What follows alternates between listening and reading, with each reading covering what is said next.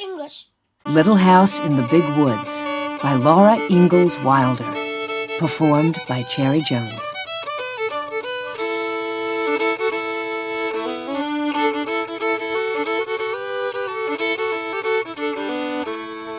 Little House in the Big Woods. Once upon a time, many years ago, a little girl lived in the big woods of Wisconsin in a little gray house made of logs.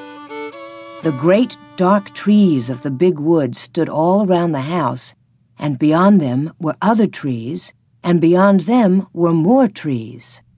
As far as a man could go to the north in a day, or a week, or a whole month, there was nothing but woods.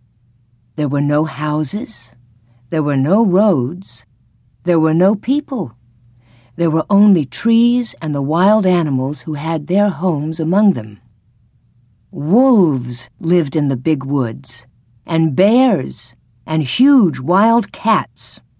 Muskrats and mink and otter lived by the streams. Foxes had dens in the hills, and deer roamed everywhere. To the east of the little log house, and to the west, there were miles upon miles of trees, and only a few little log houses scattered far apart in the edge of the big woods. So far as the little girl could see, there was only the one little house where she lived with her father and mother, her sister Mary, and baby sister Carrie. A wagon track ran before the house, turning and twisting out of sight in the woods where the wild animals lived. But the little girl did not know where it went, nor what might be at the end of it. The little girl was named Laura, and she called her father Pa and her mother Ma. In those days and in that place, children did not say father and mother, nor Mama and Papa as they do now. At night, when Laura lay awake in the trundle bed, she listened and could not hear anything at all but the sound of the trees whispering together. Sometimes, far away in the night, a wolf howled. Then he came nearer and howled again. It was a scary sound. Laura knew that wolves would eat little girls, but she was safe inside the solid log walls. Her father's gun hung over the door, and good old Jack, the brindle bulldog, lay on guard before it. Her father would say, Go to sleep, Laura. Jack won't let the wolves in. So Laura snuggled under the covers of the trundle bed close beside Mary and went to sleep. One night, her father picked her up out of bed and carried her to the window so that she might see the wolves. There were two of them sitting in the front of the house. They looked like shaggy dogs. They pointed their noses at the big bright moon and howled. Jack paced up and down before the door, growling. The hair stood up along his back, and he showed his sharp, fierce teeth to the wolves. They howled, but they could not get in. The house was a comfortable house. Upstairs, there was a large attic, pleasant to play in when the rain drummed on the roof. Downstairs was the small bedroom and the big room. The bedroom had a window that closed with a wooden shutter. The big room had two windows with glass in the panes, and it had two doors, a front door and a back door. All around the house was a crooked rail fence to keep the bears and the deer away. In the yard in front of the house were two beautiful big oak trees. Every morning, as soon as she was awake, Laura ran to look out of the window. And one morning she saw in each of the big trees a dead deer hanging from a branch. Pa had shot the deer the day before and Laura had been asleep when he brought them home at night and hung them high in the trees so the wolves could not get the meat. That day, Pa and Ma and Laura and Mary had fresh venison for dinner. It was so good that Laura wished they could eat it all.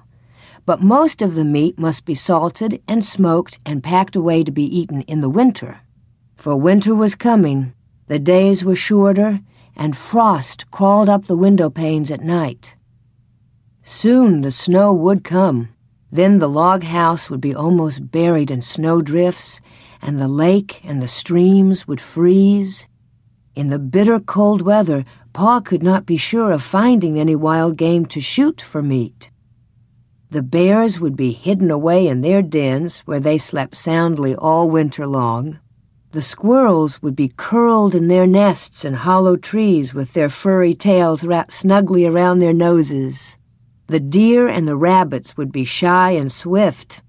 Even if Pa could get a deer, it would be poor and thin, not fat and plump as deer are in the fall. Pa might hunt alone all day in the bitter cold, in the big woods covered with snow, and come home at night with nothing for Ma and Mary and Laura to eat. So as much food as possible must be stored away in the little house before winter came. Pa skinned the deer carefully and salted and stretched the hides, for he would make soft leather of them.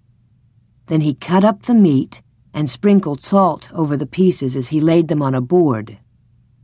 Standing on end in the yard was a tall length cut from the trunk of a big hollow tree. Pa had driven nails inside as far as he could reach from each end. Then he stood it up, put a little roof over the top, and cut a little door on one side near the bottom. On the piece that he cut out, he fastened leather hinges.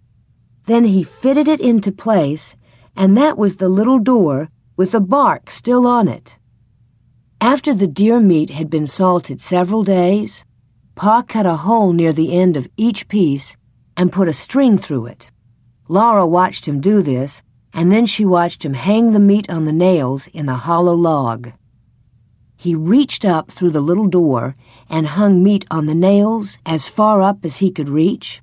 Then he put a ladder against the log, climbed up to the top, moved the roof to one side, and reached down inside to hang meat on those nails. Then Pa put the roof back again, climbed down the ladder, and said to Laura, Run over to the chopping block and fetch me some of those green hickory chips, new clean white ones. So Laura ran to the block where Pa chopped wood and filled her apron with the fresh, sweet smelling chips. Just inside the little door in the hollow log, Pa built a fire of tiny bits of bark and moss, and he laid some of the chips on it very carefully. Instead of burning quickly, the green chips smoldered and filled the hollow log with thick, choking smoke. Pa shut the door, and a little smoke squeezed through the crack around it, and a little smoke came out through the roof, but most of it was shut in with the meat. There's nothing better than good hickory smoke, Pa said. That will make good venison that will keep anywhere in any weather. Then he took his gun, and slinging his axe on his shoulder, he went away to the clearing to cut down some more trees. Laura and Ma watched the fire for several days. When smoke stopped coming through the cracks, Laura would bring more hickory chips, and Ma would put them on the fire under the meat. All the time there was a little smell of smoke in the yard, and when the door was opened, a thick, smoky, meaty smell came out. At last, Pa said the venison had smoked long enough. Then they let the fire go out, and Pa took all the strips and pieces of meat out of the hollow tree. Ma wrapped each piece neatly in paper and hung them in the attic where they would keep safe and dry. One morning, Pa went away before daylight with the horses and wagon, and that night he came home with a wagon load of fish.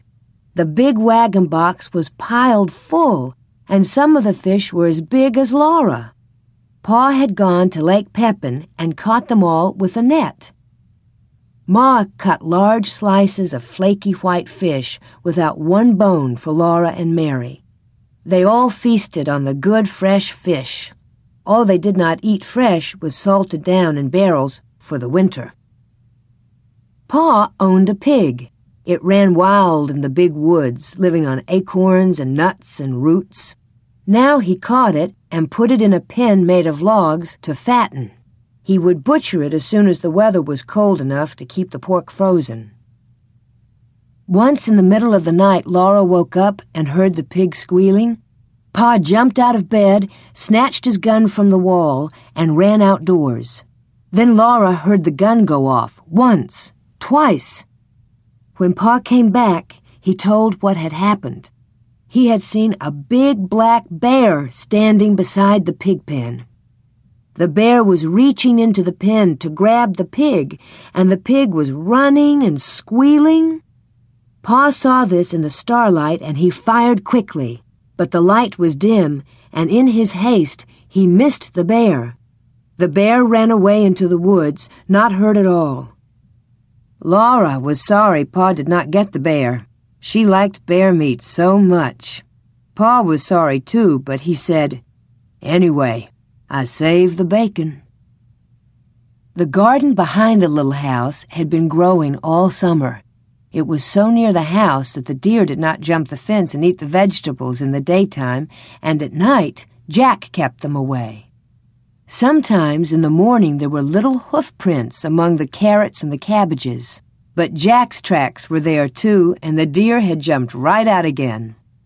Now the potatoes and carrots, the beets and turnips and cabbages were gathered and stored in the cellar, for freezing nights had come.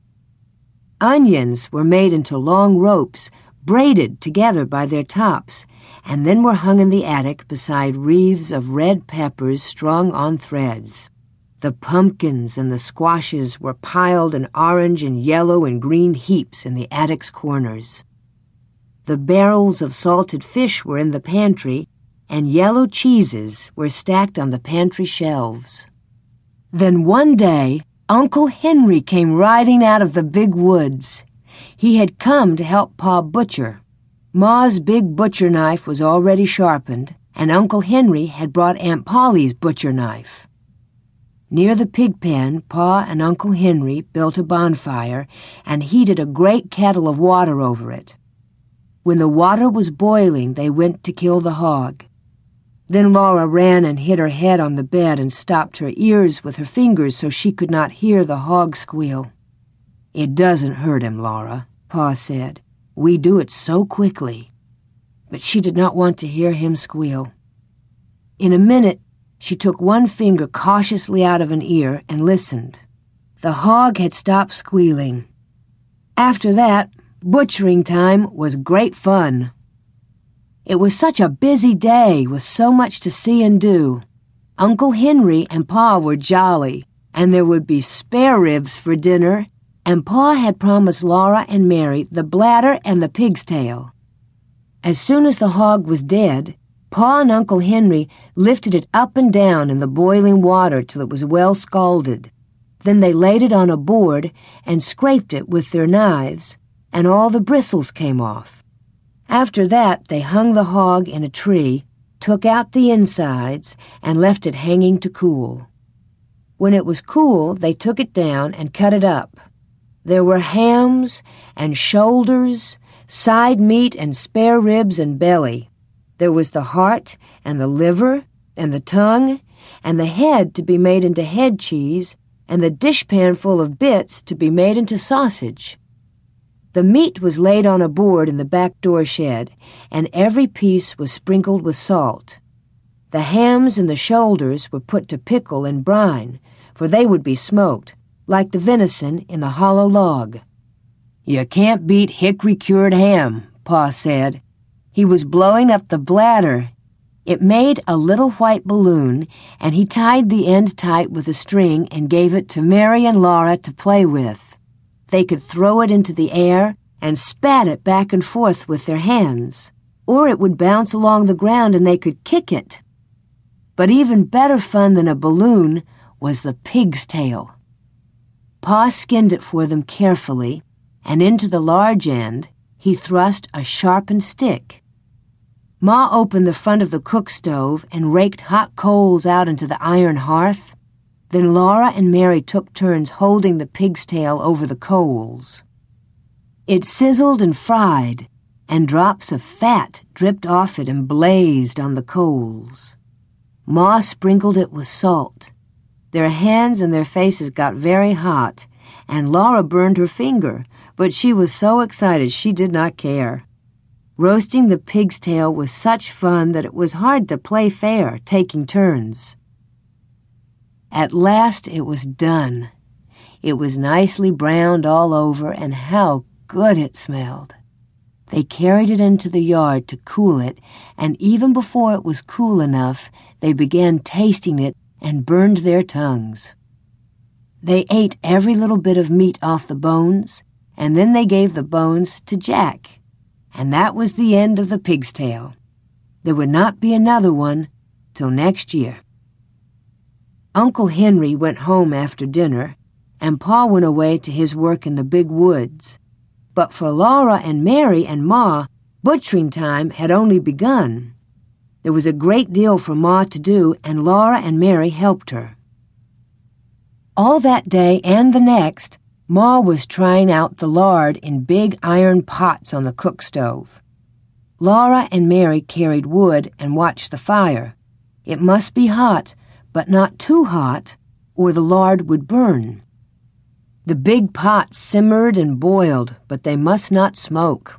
From time to time, Ma skimmed out the brown cracklings. She put them in a cloth and squeezed out every bit of the lard, and then she put the cracklings away. She would use them to flavor Johnny cake later. Cracklings were very good to eat, but Laura and Mary could have only a taste. They were too rich for little girls, Ma said. Ma scraped and cleaned the head carefully, and then she boiled it till all the meat fell off the bones. She chopped the meat fine with her chopping knife in the wooden bowl. She seasoned it with pepper and salt and spices. Then she mixed the pot liquor with it and set it away in a pan to cool. When it was cool, it would be cut in slices, and that was head cheese. The little pieces of meat, lean and fat, that had been cut off the large pieces, Ma chopped and chopped until it was all chopped fine. She seasoned it with salt and pepper and with dried sage leaves from the garden. Then with her hands she tossed and turned it until it was well mixed, and she molded it into little balls. She put the balls in a pan out in the shed where they would freeze and be good to eat all winter. That was the sausage. When butchering time was over, there were the sausages and the head cheese, the big jars of lard and the keg of white salt pork out in the shed, and in the attic hung the smoked hams and shoulders. The little house was fairly bursting with good food stored away for the long winter. The pantry and the shed and the cellar were full, and so was the attic. Laura and Mary must play in the house now, for it was cold outdoors, and the brown leaves were all falling from the trees. The fire in the cook stove never went out. At night, Pa banked it with ashes to keep the coals alive till morning. The attic was a lovely place to play. The large, round colored pumpkins made beautiful chairs and tables. The red peppers and the onions dangled overhead. The hams and the venison hung in their paper wrappings, and all the bunches of dried herbs, the spicy herbs for cooking, and the bitter herbs for medicine gave the place a dusty, spicy smell. Often the wind howled outside with a cold and lonesome sound. But in the attic, Laura and Mary played house with the squashes and the pumpkins, and everything was snug and cozy. Mary was bigger than Laura, and she had a rag doll named Nettie.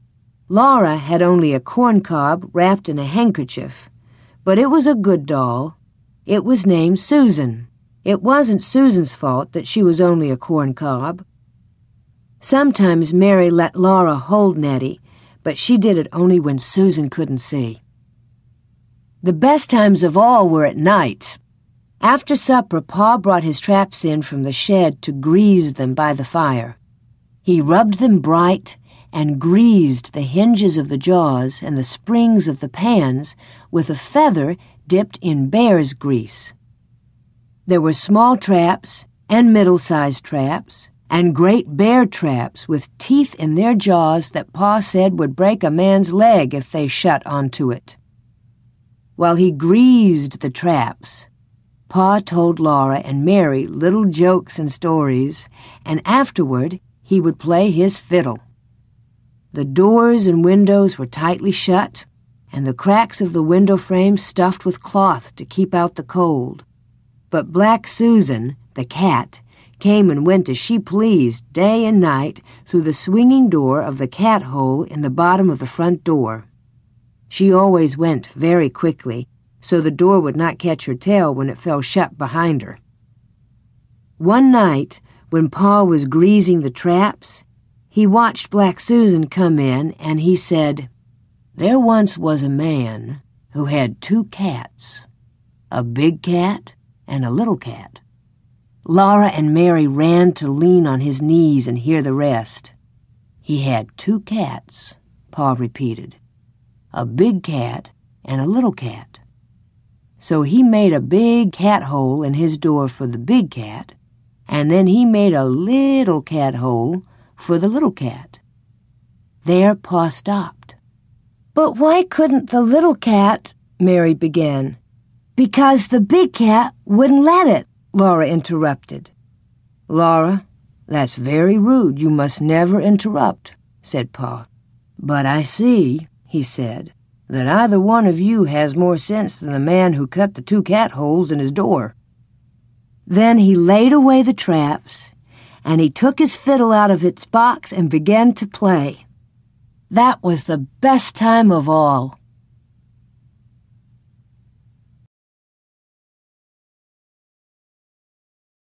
Winter Days and Winter Nights. The first snow came, and the bitter cold. Every morning Pa took his gun and his traps and was gone all day in the big woods, setting the small traps for muskrats and mink along the creeks, the middle-sized traps for foxes and wolves in the woods. He set out the big bear traps, hoping to get a fat bear before they all went into their dens for the winter. One morning he came back, took the horses and sled, and hurried away again. He had shot a bear. Laura and Mary jumped up and down and clapped their hands. They were so glad. Mary shouted, I want the drumstick! I want the drumstick! Mary did not know how big a bear's drumstick is. When Pa came back, he had both a bear and a pig in the wagon. He had been going through the woods with a big bear trap in his hands and the gun on his shoulder when he walked around a big pine tree covered with snow and the bear was behind the tree. The bear had just killed the pig and was picking it up to eat it. Pa said the bear was standing up on its hind legs holding the pig in its paws just as though they were hands. Pa shot the bear and there was no way of knowing where the pig came from nor whose pig it was. So I just brought home the bacon, Pa said. There was plenty of fresh meat to last for a long time. The days and the nights were so cold that the pork in a box and the bear meat hanging in the little shed outside the back door was solidly frozen and did not thaw. When Ma wanted fresh meat for dinner, Pa took the axe and cut off a chunk of frozen bear meat or pork. But the sausage balls, or the salt pork, or the smoked hams and the venison Ma could get for herself from the shed or the attic. The snow kept coming till it was drifted and banked against the house. In the mornings, the window panes were covered with frost and beautiful pictures of trees and flowers and fairies. Ma said that Jack Frost came in the night and made the pictures while everyone was asleep. Laura thought that Jack Frost was a little man, all snowy white, wearing a glittering white pointed cap and soft white knee boots made of deerskin. His coat was white, and his mittens were white, and he did not carry a gun on his back, but in his hands he had shining, sharp tools with which he carved the pictures. Laura and Mary were allowed to take Ma's thimble and made pretty patterns of circles in the frost on the glass. but they never spoiled the pictures that Jack Frost had made in the night. When they put their mouths close to the pane and blew their breath on it, the white frost melted and ran in drops down the glass. Then they could see the drifts of snow outdoors and the great trees standing bare and black, making thin blue shadows on the white snow. Laura and Mary helped Ma with the work. Every morning there were the dishes to wipe. Mary wiped more of them than Laura because she was bigger, but Laura always wiped carefully her own little cup and plate. By the time the dishes were all wiped and set away, the trundle bed was aired. Then, standing one on each side, Laura and Mary straightened the covers, tucked them in well at the foot and the sides, plumped up the pillows, and put them in place. Then Ma pushed the trundle bed into its place under the big bed. After this was done, Ma began the work that belonged to that day. Each day had its own proper work. Ma used to say, Wash on Monday, iron on Tuesday, mend on Wednesday, churn on Thursday, clean on Friday, bake on Saturday, rest on Sunday. Laura liked the churning and the baking days best of all the week. In winter, the cream was not yellow as it was in summer, and butter churned from it was white and not so pretty. Ma liked everything on her table to be pretty, so in the winter time she colored the butter. After she'd put the cream in the tall crockery churn and set it near the stove to warm, she washed and scraped a long orange-colored carrot. Then she grated it on the bottom of the old leaky tin pan that Pa had punched full of nail holes for her. Ma rubbed the carrot across the roughness until she had rubbed it all through the holes, and when she lifted up the pan, there was a soft, juicy mound of grated carrot. She put this in a little pan of milk on the stove, and when the milk was hot, she poured milk and carrot into a cloth bag. Then she squeezed the bright yellow milk into the churn where it colored all the cream. Now the butter would be yellow. Laura and Mary were allowed to eat the carrot after the milk had been squeezed out. Mary thought she ought to have the larger share because she was older, and Laura said she should have it because she was littler. But Ma said they must divide it evenly. It was very good. When the cream was ready, Ma scalded the long wooden churn dash, put it in the churn, and dropped the wooden churn cover over it. The churn cover had a little round hole in the middle, and Ma moved the dash up and down, up and down, through the hole. She churned for a long time. Mary could sometimes churn while Ma rested, but the dash was too heavy for Laura. At first, the splashes of cream showed thick and smooth around the little hole. After a long time, they began to look grainy. Then Ma churned more slowly, and on the dash there began to appear tiny grains of yellow butter. When Ma took off the churn cover, there was the butter in a golden lump, drowning in the buttermilk. Then Ma took out the lump with a wooden paddle into a wooden bowl, and she washed it many times in cold water, turning it over and over and working it with the paddle until the water ran clear. After that, she salted it. Now came the best part of the churning. Ma molded the butter. On the loose bottom of the wooden butter mold was carved the picture of a strawberry with two strawberry leaves. With the paddle, Ma packed the butter tightly into the mold until it was full. Then she turned it upside down over a plate and pushed on the handle of the loose bottom. The little firm pat of golden butter came out, with the strawberry and its leaves molded on the top. Laura and Mary watched breathless, one on each side of Ma, while the little golden butter pats, each with its strawberry on the top, dropped onto the plate as Ma put all the butter through the mold. Then Ma gave them each a drink of good, fresh buttermilk. On Saturdays, when Ma made the bread, they each had a little piece of dough to make into a little loaf. They might have a bit of cookie dough, too, to make little cookies. And once, Laura even made a pie in her patty pan. After the day's work was done, Ma sometimes cut paper dolls for them. She cut the dolls out of stiff white paper and drew the faces with a pencil. Then from bits of colored paper, she cut dresses and hats, ribbons and laces, so that Laura and Mary could dress their dolls beautifully. But the best time of all was at night when Pa came home. He would come in from his tramping through the snowy woods with tiny icicles hanging on the ends of his mustaches. He would hang his gun on the wall over the door, throw off his fur cap and coat and mittens, and call, Where's my little half pint of sweet cider half drunk up? That was Laura because she was so small. Laura and Mary would run to climb on his knees and sit there while he warmed himself by the fire.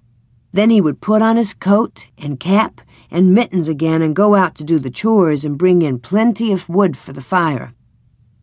Sometimes, when Pa had walked his trap lines quickly because the traps were empty, or when he'd got some game sooner than usual, he would come home early then he would have time to play with Laura and Mary. One game they loved was called Mad Dog.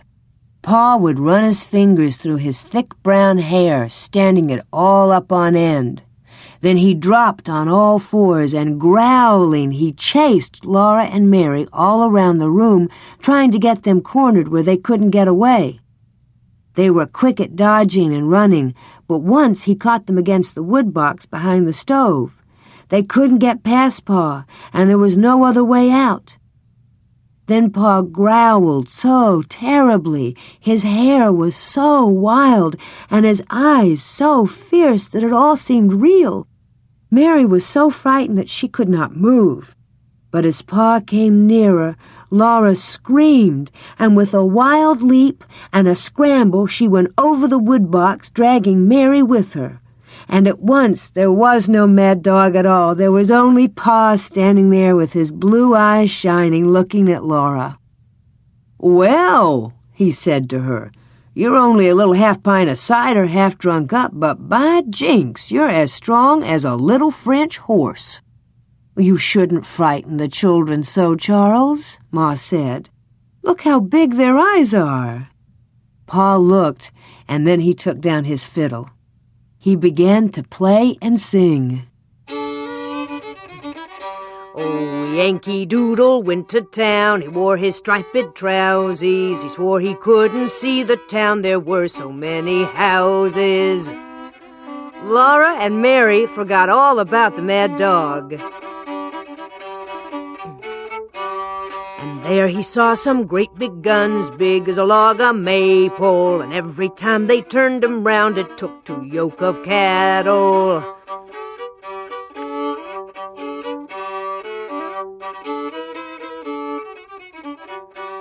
And every time they fired 'em off, it took a horn of powder. It made a noise like father's gun, only a nation louder.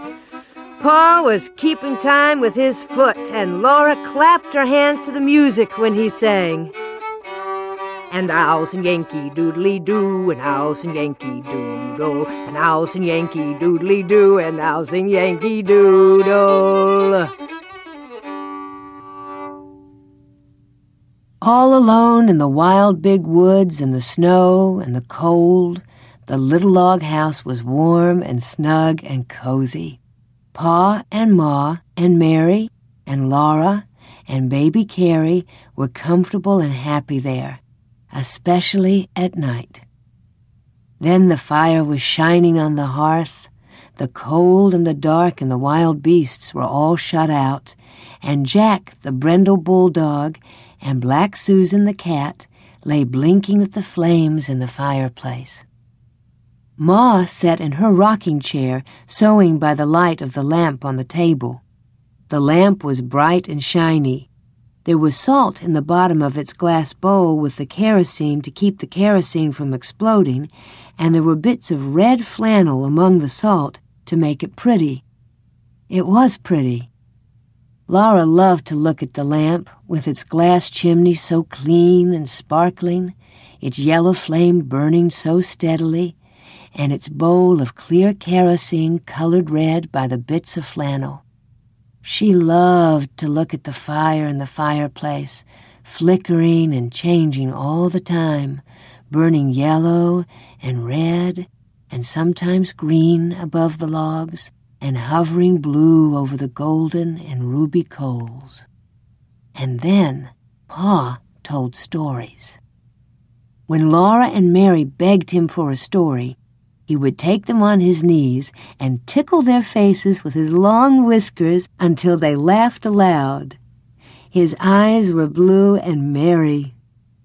One night, Pa looked at Black Susan stretching herself before the fire and running her claws out and in, and he said, Do you know that a panther is a cat?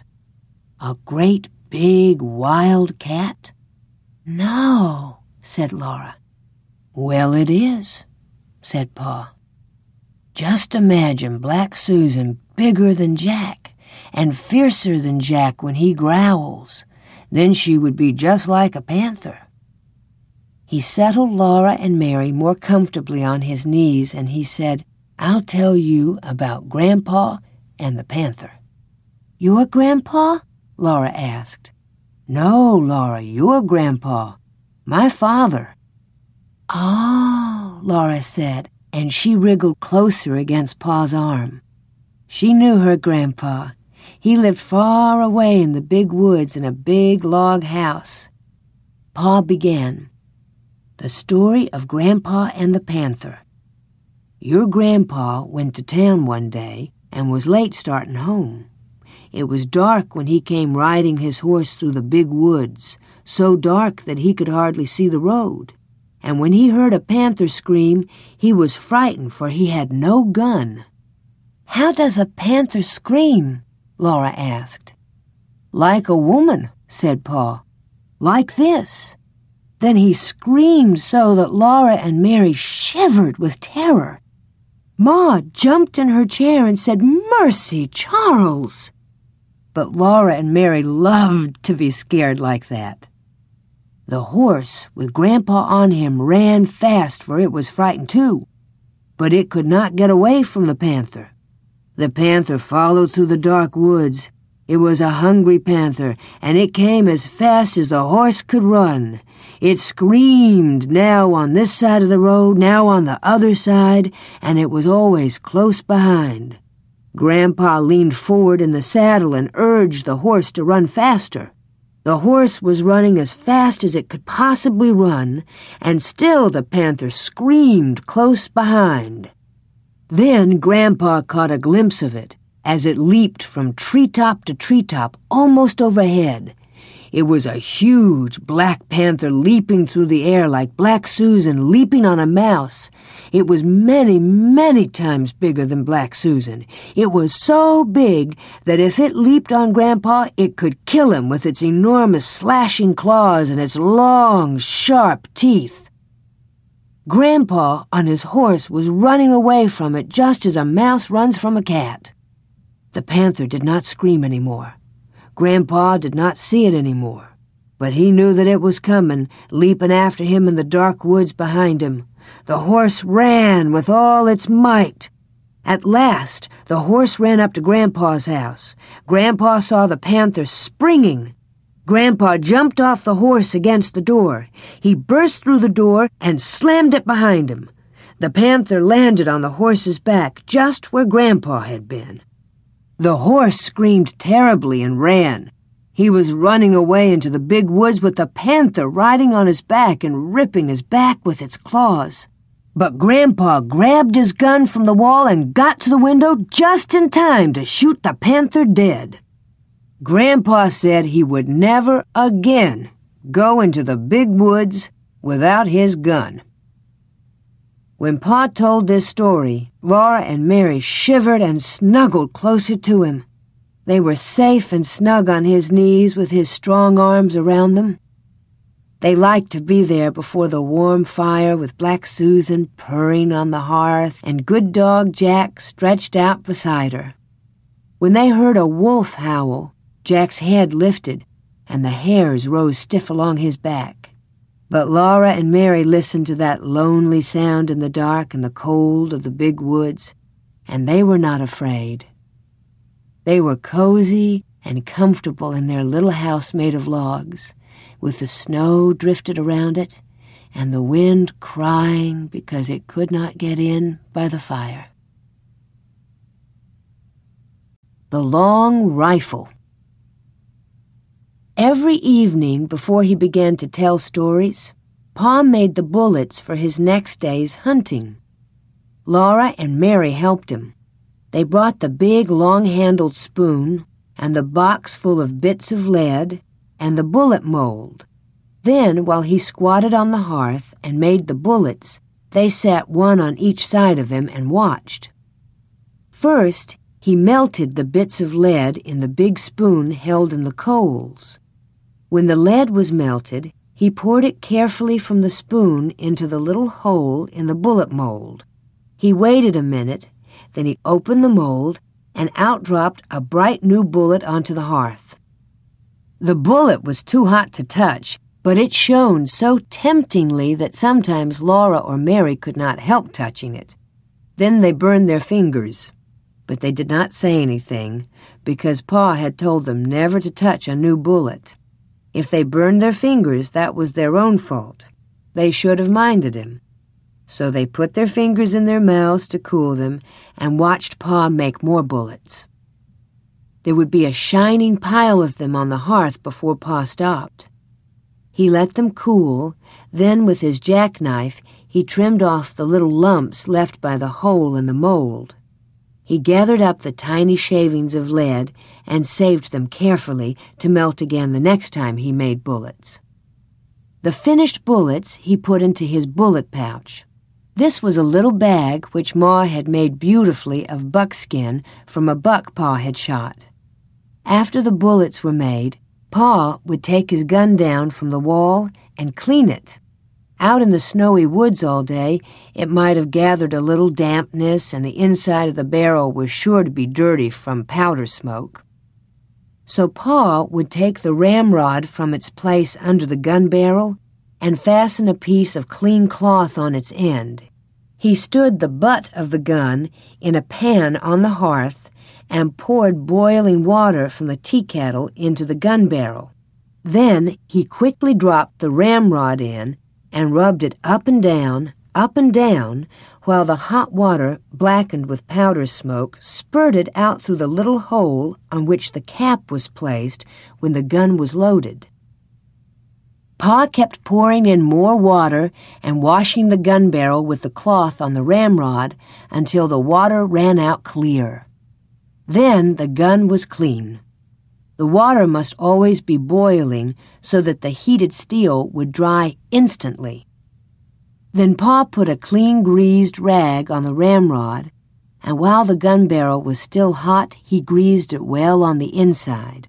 With another clean greased cloth, he rubbed it all over outside until every bit of it was oiled and sleek. After that, he rubbed and polished the gun stock until the wood of it was bright and shining too. Now he was ready to load the gun again, and Laura and Mary must help him. Standing straight and tall, holding the long gun upright on its butt, while Laura and Mary stood on either side of him, Pa said, You watch me now and tell me if I make a mistake. So they watched very carefully but he never made a mistake. Laura handed him the smooth, polished cow horn full of gunpowder. The top of the horn was a little metal cap. Pa filled this cap full of the gunpowder and poured the powder down the barrel of the gun. Then he shook the gun a little and tapped the barrel to be sure that all the powder was together in the bottom. Where's my patch box? he asked then, and Mary gave him the little tin box full of little pieces of greased cloth. Pa laid one of these bits of greasy cloth over the muzzle of the gun, put one of the shiny new bullets on it, and with the ramrod he pushed the bullet and the cloth down the gun barrel. Then he pounded them tightly against the powder. When he hit them with the ramrod, the ramrod bounced up in the gun barrel, and Pa caught it and thrust it down again. He did this for a long time. Next, he put the ramrod back in its place against the gun barrel. Then, taking a box of caps from his pocket, he raised the hammer of the gun and slipped one of the little bright caps over the hollow pin that was under the hammer. He let the hammer down slowly and carefully. If it came down quickly, bang, the gun would go off. Now the gun was loaded, and Pa laid it on its hooks over the door. When Pa was at home, the gun always lay across those two wooden hooks above the door.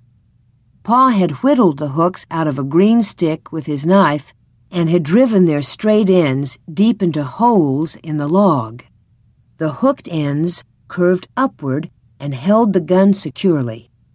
The gun was always loaded and always above the door so that Pa could get it quickly and easily any time he needed a gun. When Pa went into the big woods, he always made sure that the bullet pouch was full of bullets, and that the tin patch box and the box of caps were with it in his pockets. The powder horn and a small sharp hatchet hung at his belt, and he carried the gun ready loaded on his shoulder. He always reloaded the gun as soon as he had fired it, for, he said, he did not want to meet trouble with an empty gun. Whenever he shot at a wild animal, he had to stop and load the gun, measure the powder, put it in and shake it down, put in the patch and the bullet, and pound them down, and then put a fresh cap under the hammer before he could shoot again. When he shot at a bear or a panther, he must kill it with the first shot. A wounded bear or panther could kill a man before he had time to load his gun again. But Laura and Mary were never afraid when Pa went alone into the big woods. They knew he could always kill bears and panthers with the first shot. After the bullets were made and the gun was loaded, came storytelling time.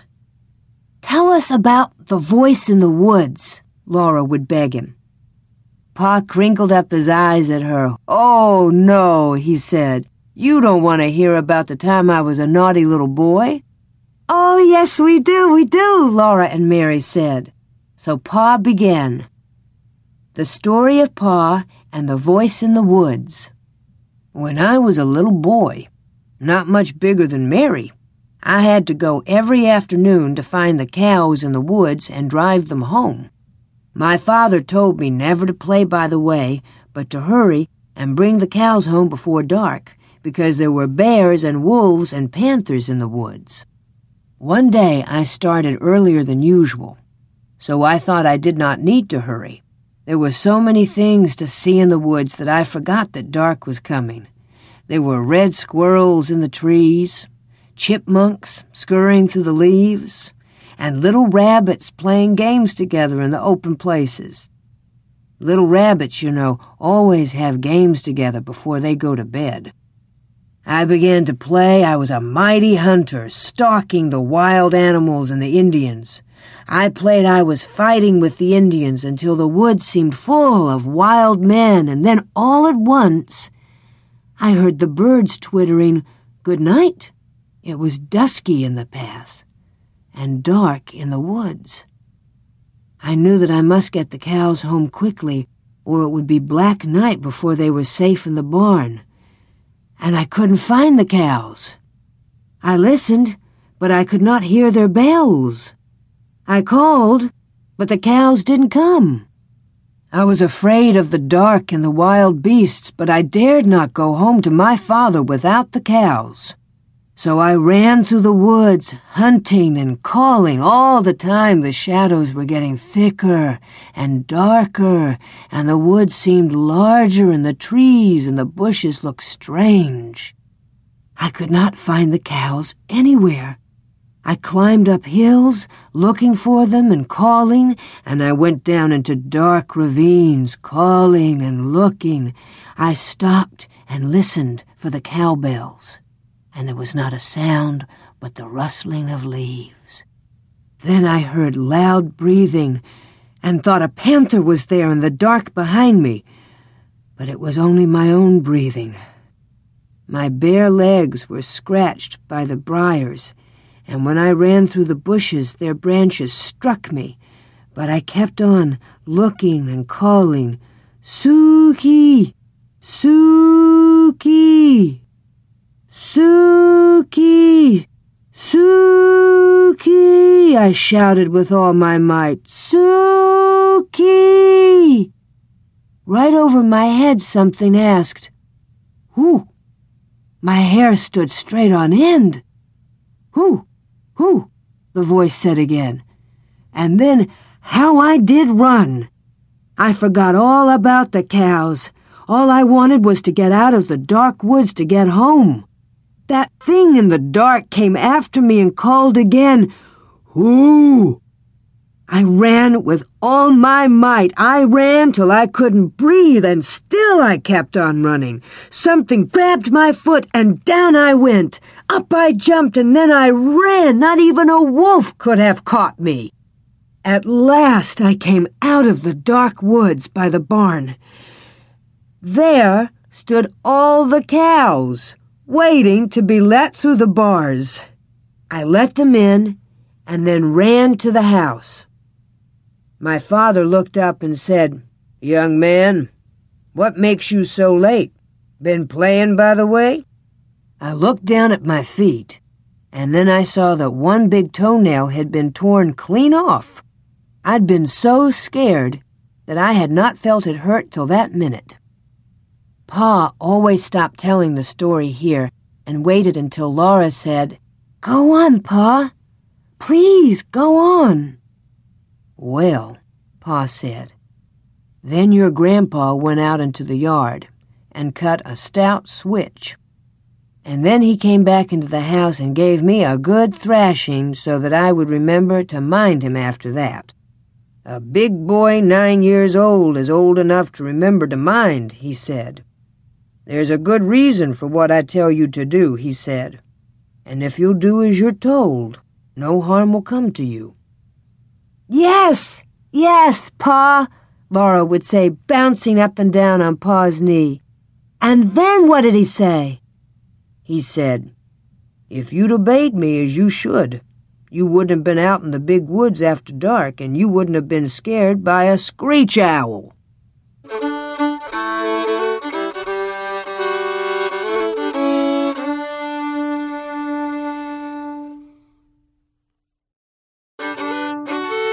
Christmas. Christmas was coming. The little log house was almost buried in snow. Great drifts were banked against the walls and windows, and in the morning, when Pa opened the door, there was a wall of snow as high as Laura's head. Pa took the shovel and shoveled it away, and then he shoveled a path to the barn where the horses and the cows were snug and warm in their stalls. The days were clear and bright. Laura and Mary stood on chairs by the window and looked out across the glittering snow at the glittering trees. Snow was piled all along their bare, dark branches, and it sparkled in the sunshine. Icicles hung from the eaves of the house to the snowbanks, great icicles, as large at the top as Laura's arm. They were like glass and full of sharp lights. Pa's breath hung in the air like smoke when he came along the path from the barn. He breathed it out in clouds, and it froze in white frost on his mustache and beard. When he came in, stamping the snow from his boots, and caught Laura up in a bear's hug against his cold big coat, His mustache was beaded with little drops of melting frost. Every night he was busy working on a large piece of board and two small pieces. He whittled them with his knife, he rubbed them with sandpaper, and with the palm of his hand, until when Laura touched them, they felt soft and smooth as silk. Then, with his sharp jackknife, he worked at them, cutting the edges of the large one into little peaks and towers, with a large star carved on the very tallest point. He cut little holes through the wood. He cut the holes in shapes of windows and little stars and crescent moons and circles. All around them, he carved tiny leaves and flowers and birds. One of the little boards he shaped in a lovely curve, and around its edges he carved leaves and flowers and stars, and through it he cut crescent moons and curlicues. Around the edges of the smallest board he carved a tiny flowering vine. He made the tiniest shavings, cutting very slowly and carefully, making whatever he thought would be pretty. At last he had the pieces finished, and one night he fitted them together. When this was done, the large piece was a beautifully carved back for a smooth little shelf across its middle. The large star was at the very top of it. The curved piece supported the shelf underneath, and it was carved beautifully too. And the little vine ran around the edge of the shelf. Pa had made this bracket for a Christmas present for Ma. He hung it carefully against the log wall between the windows, and Ma stood her little China woman on the shelf. The little China woman had a china bonnet on her head, and china curls hung against her china neck. Her china dress was laced across in front, and she wore a pale pink china apron and little gilt china shoes.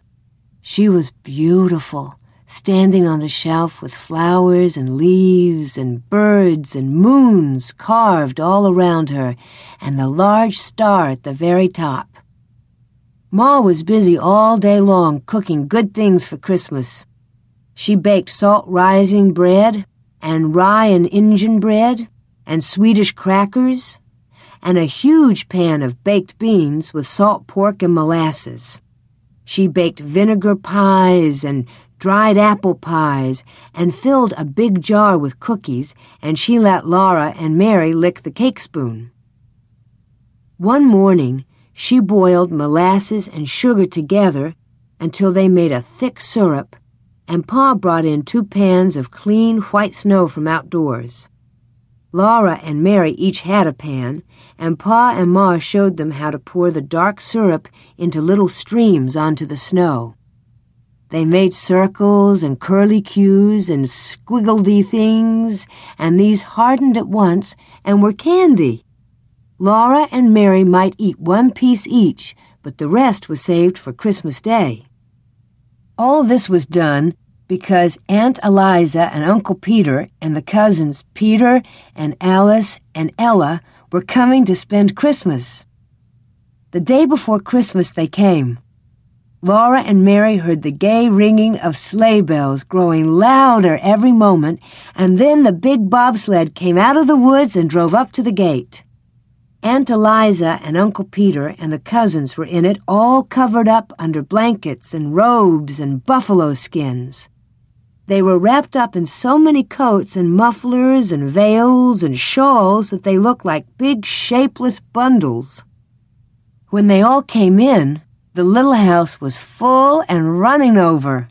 Black Susan ran out and hid in the barn, but Jack leaped in circles through the snow, barking as though he would never stop.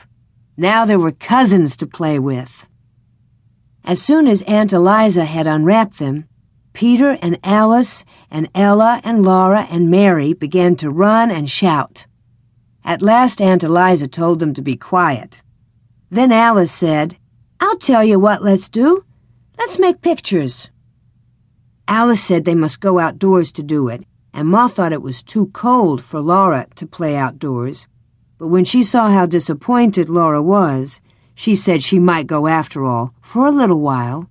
She put on Laura's coat and mittens and the warm cape with the hood and wrapped a muffler around her neck and let her go. Laura had never had so much fun. All morning she played outdoors in the snow with Alice and Ella and Peter and Mary, making pictures. The way they did it was this. Each one by herself climbed up on a stump, and then all at once, holding their arms out wide, they fell off the stumps into the soft, deep snow. They fell flat on their faces. Then they tried to get up without spoiling the marks they made when they fell. If they did it well, there in the snow were five holes, shaped almost exactly like four little girls and a boy, arms and legs and all. They called these their pictures. They played so hard all day that when night came, they were too excited to sleep. But they must sleep, or Santa Claus would not come. So they hung their stockings by the fireplace and said their prayers and went to bed. Alice and Ella and Mary and Laura all in one big bed on the floor. Peter had the trundle bed. Aunt Eliza and Uncle Peter were going to sleep in the big bed, and another bed was made on the attic floor for Pa and Ma. The buffalo robes and all the blankets had been brought in from Uncle Peter's sled, so there were enough covers for everybody. Pa and Ma and Aunt Eliza and Uncle Peter sat by the fire talking, and just as Laura was drifting off to sleep, she heard Uncle Peter say, Eliza had a narrow squeak the other day when I was away at Lake City. You know Prince, that big dog of mine? Laura was wide awake at once. She always liked to hear about dogs. She lay still as a mouse and looked at the firelight flickering on the log walls and listened to Uncle Peter. Well, Uncle Peter said, early in the morning, Eliza started to the spring to get a pail of water, and Prince was following her. She got to the edge of the ravine where the path goes down to the spring, and all of a sudden Prince set his teeth in the back of her skirt and pulled. You know what a big dog he is.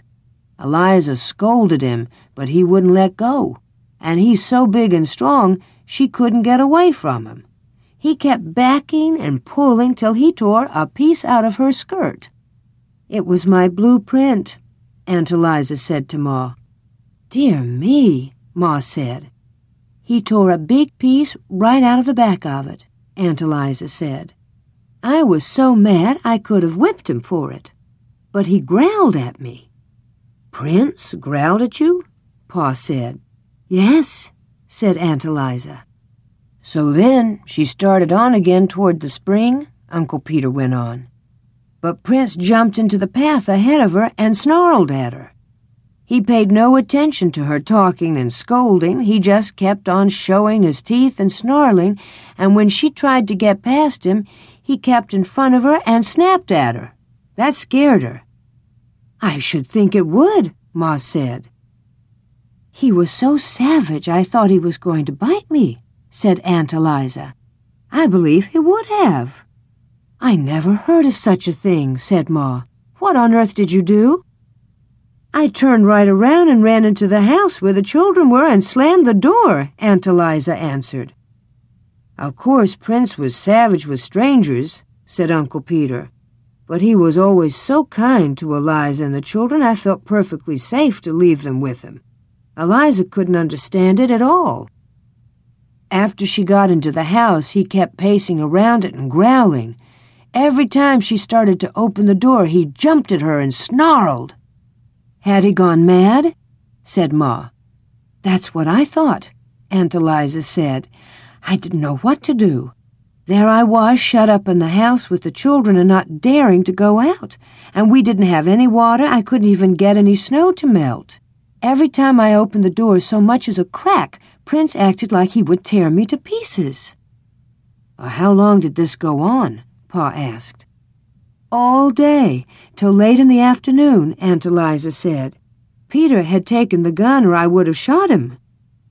Along late in the afternoon, Uncle Peter said, he got quiet and lay down in front of the door. Eliza thought he was asleep, and she made up her mind to try to slip past him and get to the spring for some water. So she opened the door very quietly, but of course he woke up right away. When he saw she had the water pail in her hand, he got up and walked ahead of her to the spring, just the same as usual. And there, all around the spring in the snow, were the fresh tracks of a panther. The tracks were as big as my hand, said Aunt Eliza. Yes, Uncle Peter said. He was a big fellow. His tracks were the biggest I ever saw. He would have got Eliza sure if Prince had let her go to the spring in the morning. I saw the tracks. He had been lying up in that big oak over the spring waiting for some animal to come there for water. Undoubtedly, he would have dropped down on her. Night was coming on when she saw the tracks, and she didn't waste any time getting back to the house with her pail of water. Prince followed close behind her, looking back into the ravine now and then. I took him into the house with me, Aunt Eliza said, and we all stayed inside till Peter came home. Did you get him? Pa asked Uncle Peter. No, Uncle Peter said. I took my gun and hunted all around the place, but I couldn't find him. I saw some more of his tracks. He'd gone on north, farther into the big woods. Alice and Ella and Mary were all wide awake now, and Laura put her head under the covers and whispered to Alice, My, weren't you scared? Alice whispered back that she was scared, but Ella was scareder, and Ella whispered that she wasn't either any such thing. Well, anyway, you made more fuss about being thirsty, Alice whispered. They lay there whispering about it till Ma said, Charles, those children never will get to sleep unless you play for them. So Pa got his fiddle. The room was still and warm and full of firelight. Ma's shadow and Aunt Eliza's and Uncle Peter's were big and quivering on the walls in the flickering firelight and Pa's fiddle sang merrily to itself. It sang Money Musk and The Red Heifer, The Devil's Dream, and Arkansas Traveler. And Laura went to sleep while Pa and the fiddle were both softly singing. Oh, my darling Nellie Gray, they have taken you away and I'll never see my darling anymore.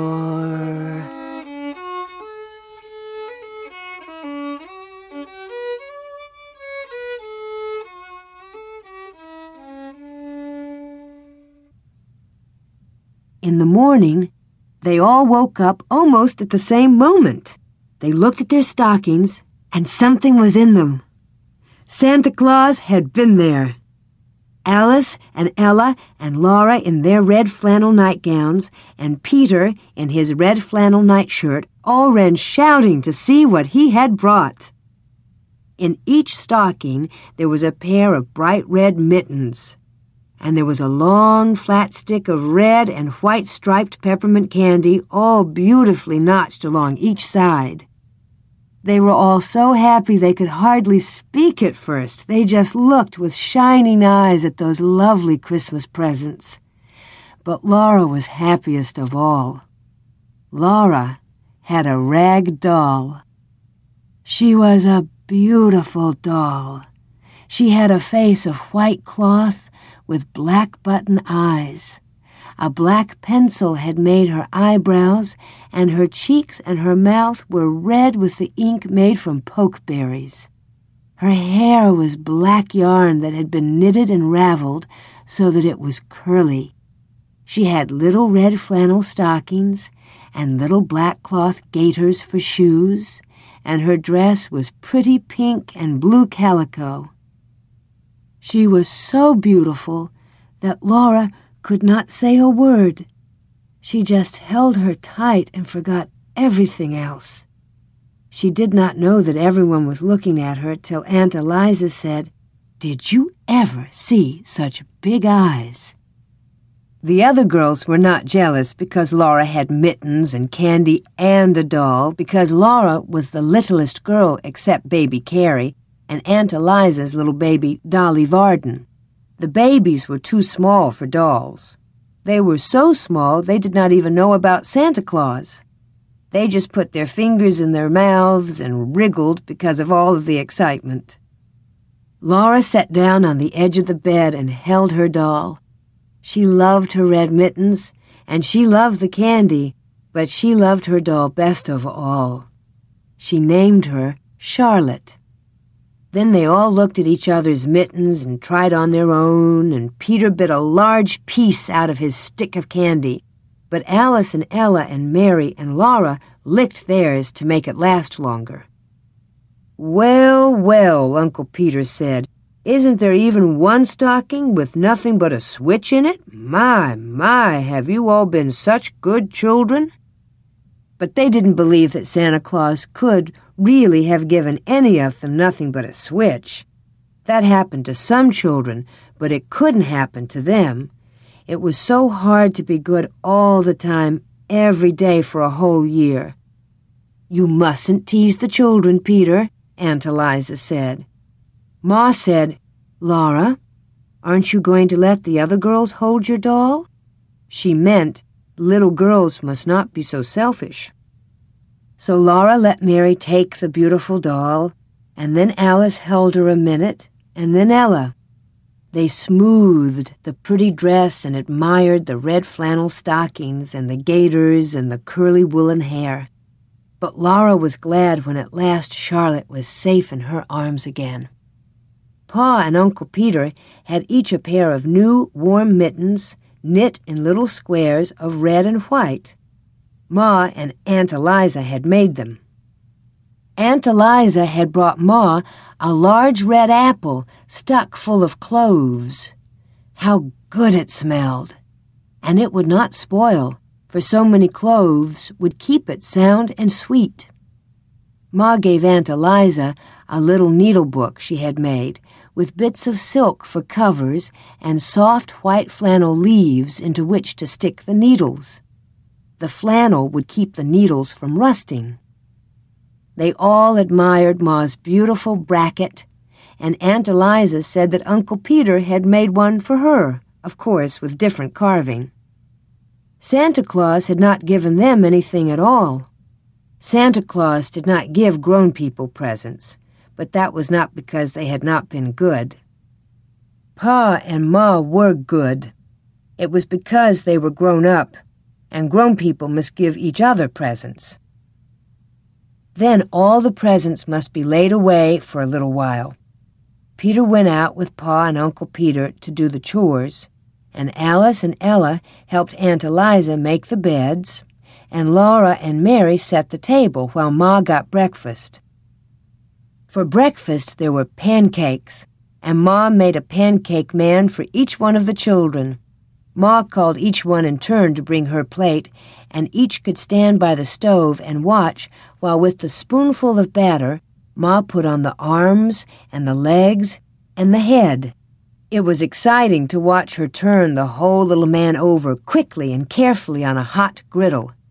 When it was done, she put it smoking hot on the plate. Peter ate the head off his man right away. But Alice and Ella and Mary and Laura ate theirs slowly in little bits, first the arms and legs, and then the middle, saving the head for last.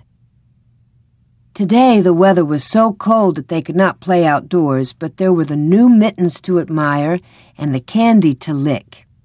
And they all sat on the floor together and looked at the pictures in the Bible and the pictures of all kinds of animals and birds in Pa's big green book. Laura kept Charlotte in her arms the whole time.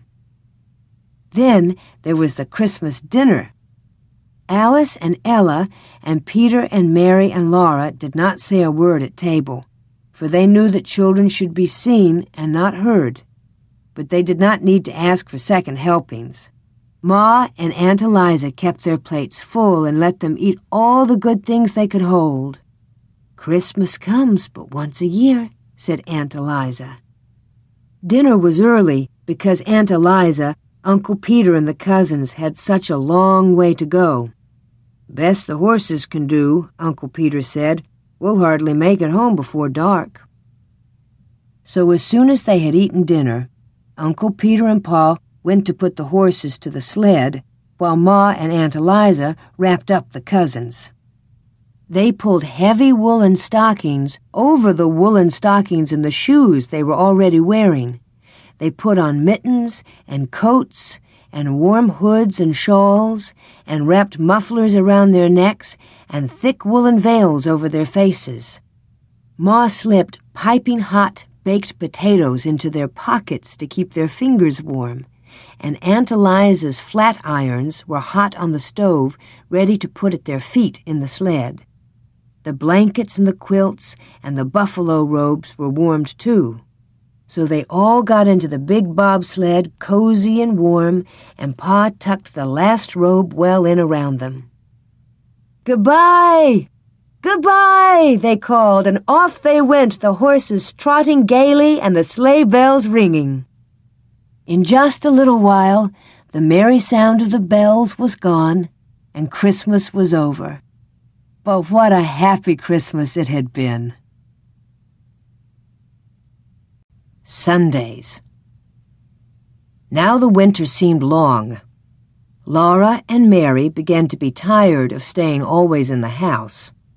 Especially on Sundays, the time went so slowly. Every Sunday, Mary and Laura were dressed from the skin out in their best clothes with fresh ribbons in their hair. They were very clean because they'd had their baths on Saturday night. In the summer, they were bathed in water from the spring. But in the winter time, Pa filled and heaped the wash tub with clean snow, and on the cook stove it melted to water. Then, close by the warm stove, behind a screen made of a blanket over two chairs, Ma bathed Laura, and then she bathed Mary. Laura was bathed first because she was littler than Mary. She had to go to bed early on Saturday nights with Charlotte because after she was bathed and put into her clean nightgown, Pa must empty the wash tub and fill it with snow again for Mary's bath. Then after Mary came to bed, Ma had her bath behind the blanket, and then Pa had his, and they were all clean for Sunday. On Sundays, Mary and Laura must not run or shout or be noisy in their play. Mary could not sew on her nine patch quilt, and Laura could not knit on the tiny mittens she was making for baby Carrie. They might look quietly at their paper dolls, but they must not make anything new for them. They were not allowed to sew on doll clothes, not even with pins. They must sit quietly and listen while Ma read Bible stories to them, or stories about lions and tigers and white bears from Pa's big green book, The Wonders of the Animal World. They might look at pictures, and they might hold their rag dolls nicely and talk to them, but there was nothing else they could do. Laura liked best to look at the pictures in the big Bible with its paper covers. Best of all, was the picture of Adam naming the animals. Adam sat on a rock, and all the animals and birds, big and little, were gathered around him, anxiously waiting to be told what kind of animals they were. Adam looked so comfortable. He did not have to be careful to keep his clothes clean because he had no clothes on. He wore only a skin around his middle. Did Adam have good clothes to wear on Sundays? Laura asked Ma. No, Ma said. Poor Adam. All he had to wear was skins. Laura did not pity Adam. She wished she had nothing to wear but skins. One Sunday after supper, she could not bear it any longer. She began to play with Jack, and in a few minutes she was running and shouting. Pa told her to sit in her chair and be quiet. But when Laura sat down, she began to cry and kick the chair with her heels. I hate Sunday, she said. Pa put down his book. Laura, he said sternly, come here. Her feet dragged as she went because she knew she deserved a spanking. But when she reached Pa, he looked at her sorrowfully for a moment, and then he took her on his knee and cuddled her against him. He held out his other arm to Mary and said, I'm going to tell you a story about when Grandpa was a boy. The story of Grandpa's sled and the pig. When your grandpa was a boy, Laura, Sunday did not begin on Sunday morning as it does now. It began at sundown on Saturday night. Then everyone stopped every kind of work or play. Supper was solemn. After supper, Grandpa's father read aloud a chapter of the Bible, while everyone sat straight and still in his chair. Then they all knelt down, and their father said a long prayer. When he said, Amen, they got up from their knees and each took a candle and went to bed. They must go straight to bed with no playing, laughing, or even talking. Sunday morning, they ate a cold breakfast because nothing could be cooked on Sunday. Then they all dressed in their best clothes and walked to church. They walked because hitching up the horses was work, and no work could be done on Sunday. They must walk slowly and solemnly, looking straight ahead. They must not joke or laugh or even smile. Grandpa and his two brothers walked ahead, and their father and mother walked behind them. In church, Grandpa and his brothers must sit perfectly still for two long hours and listen to the sermon. They dared not fidget on the hard bench. They dared not swing their feet. They dared not turn their heads to look at the windows or the walls or the ceiling of the church. They must sit perfectly motionless and never for one instant take their eyes from the preacher. When church was over, they walked slowly home. They might talk on the way, but they must not talk loudly, and they must never laugh or smile. At home, they ate a cold dinner which had been cooked the day before. Then all the long afternoon they must sit in a row on a bench and study their catechism until at last the sun went down and Sunday was over. Now, Grandpa's home was about halfway down the side of a steep hill. The road went from the top of the hill to the bottom, right past the front door, and in winter it was the best place for sliding downhill that you can possibly imagine. One week, Grandpa and his two brothers, James and George, were making a new sled. They worked at it every minute of their playtime. It was the best sled they had ever made, and it was so long that all three of them could sit on it, one behind the other. They planned to finish it in time to slide downhill Saturday afternoon. For every Saturday afternoon, they had two or three hours to play. But that week, their father was cutting down trees in the big woods. He was working hard, and he kept the boys working with him. They did all the morning chores by lantern light and were hard at work in the woods when the sun came up. They worked till dark, and then there were the chores to do. And after supper, they had to go to bed so they could get up early in the morning. They had no time to work on the sled until Saturday afternoon. Then they worked at it just as fast as they could, but they didn't get it finished till just as the sun went down Saturday night. After the sun went down, they could not slide downhill, not even once. That would be breaking the Sabbath. So they put the sled in the shed behind the house to wait until Sunday was over. All the two long hours in church next day, while they kept their feet still and their eyes on the preacher, they were thinking about the sled. At home, while they ate dinner, they couldn't think of anything else. After dinner, their father sat down to read the Bible, and Grandpa and James and George sat as still as mice on their bench with their catechism.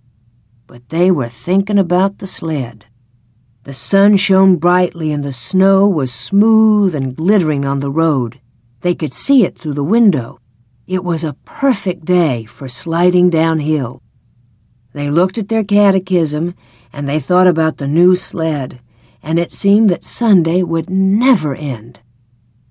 After a long time, they heard a snore. They looked at their father, and they saw that his head had fallen against the back of his chair and he was fast asleep. Then James looked at George, and James got up from the bench and tiptoed out of the room through the back door. George looked at Grandpa, and George tiptoed after James. And Grandpa looked fearfully at their father, but on tiptoe he followed George and left their father snoring. They took their new sled and went quietly up to the top of the hill. They meant to slide down just once. Then they would put the sled away and slip back to their bench in the catechism before their father woke up. James sat in front on the sled, then George, and then Grandpa because he was the littlest. The sled started at first slowly, then faster and faster. It was running, flying down the long steep hill, but the boys dared not shout. They must slide silently past the house without waking their father. There was no sound except the little whir of the runners on the snow and the wind rushing past. Then, just as the sled was swooping toward the house, a big black pig stepped out of the woods. He walked into the middle of the road and stood there. The sled was going so fast it couldn't be stopped. There wasn't time to turn it. The sled went right under the hog and picked him up. With a squeal, he sat down on James and he kept on squealing long and loud and shrill. Squee! Squee! They flashed by the house, the pig sitting in front, then James, then George, then Grandpa, and they saw their father standing in the doorway looking at them. They couldn't stop. They couldn't hide. There was no time to say anything. Down the hill they went, the hog sitting on James and squealing all the way. At the bottom of the hill they stopped. The hog jumped off James and ran away into the woods, still squealing. The boys walked slowly and solemnly up the hill. They put the sled away.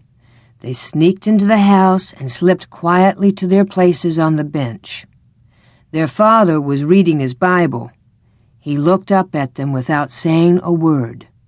Then he went on reading, and they studied their catechism. But when the sun went down and the Sabbath day was over, their father took them out to the woodshed and tanned their jackets, first James, then George, then Grandpa. So you see, Laura and Mary, Pa said, you may find it hard to be good, but you should be glad that it isn't as hard to be good now as it was when Grandpa was a boy. Did little girls have to be as good as that?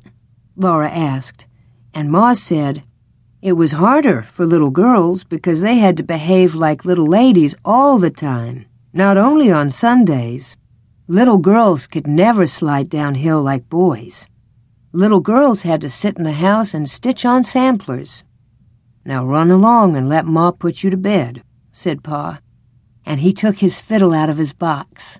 Laura and Mary lay in their trundle bed and listened to the Sunday hymns for even the fiddle must not sing the weekday songs on Sundays. Rock of Ages cleft for me, Pa sang with the fiddle. Then he sang,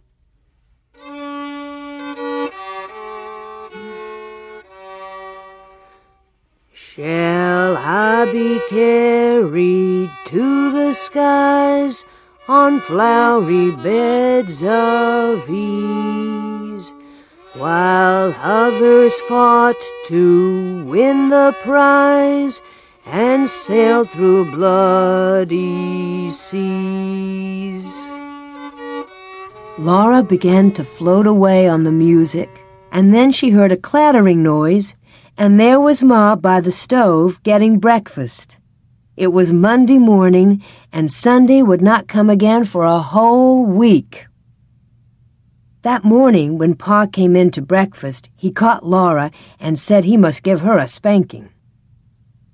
First, he explained that today was her birthday and she would not grow properly next year unless she had a spanking. And then he spanked so gently and carefully that it did not hurt a bit. One, two, three, four, five, six, he counted, and spanked slowly. One spank for each year, and at the last, one big spank to grow on. Then Pa gave her a little wooden man he had whittled out of a stick to be company for Charlotte. Ma gave her five little cakes, one for each year that Laura had lived with her and Pa. And Mary gave her a new dress for Charlotte. Mary had made the dress herself when Laura thought she was sewing on her patchwork quilt.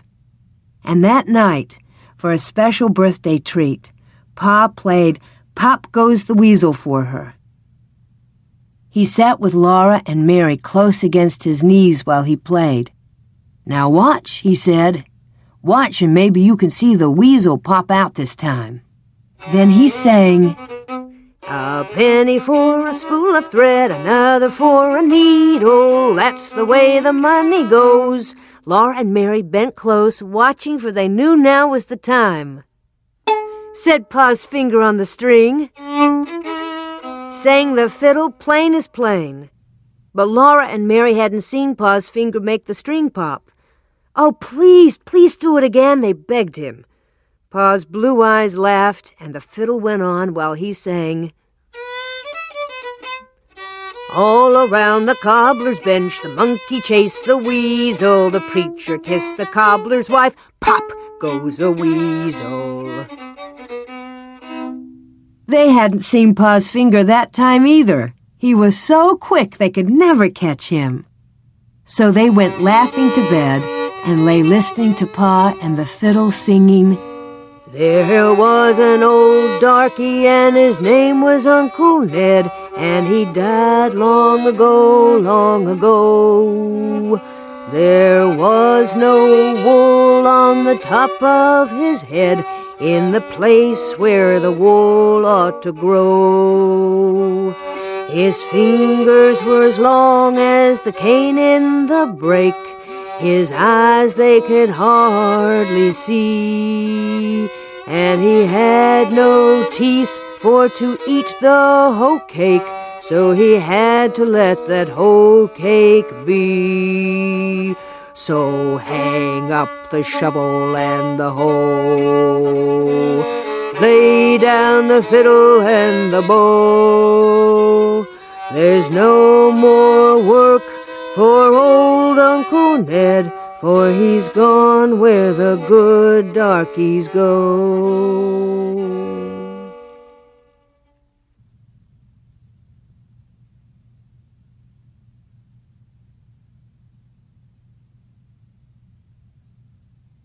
two big bears. Then one day, Pa said that spring was coming. In the big woods, the snow was beginning to thaw.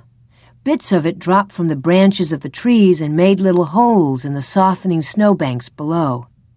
At noon, all the big icicles along the eaves of the little house quivered and sparkled in the sunshine, and drops of water hung trembling at their tips. Pa said he must go to town to trade the furs of the wild animals he'd been trapping all winter. So one evening he made a big bundle of them. There were so many furs that when they were packed tightly and tied together, they made a bundle almost as big as Pa. Very early one morning, Pa strapped the bundle of furs on his shoulders and started to walk to town. There were so many furs to carry that he could not take his gun. Ma was worried, but Pa said that by starting before sunup and walking very fast all day, he could get home again before dark. The nearest town was far away. Laura and Mary had never seen a town.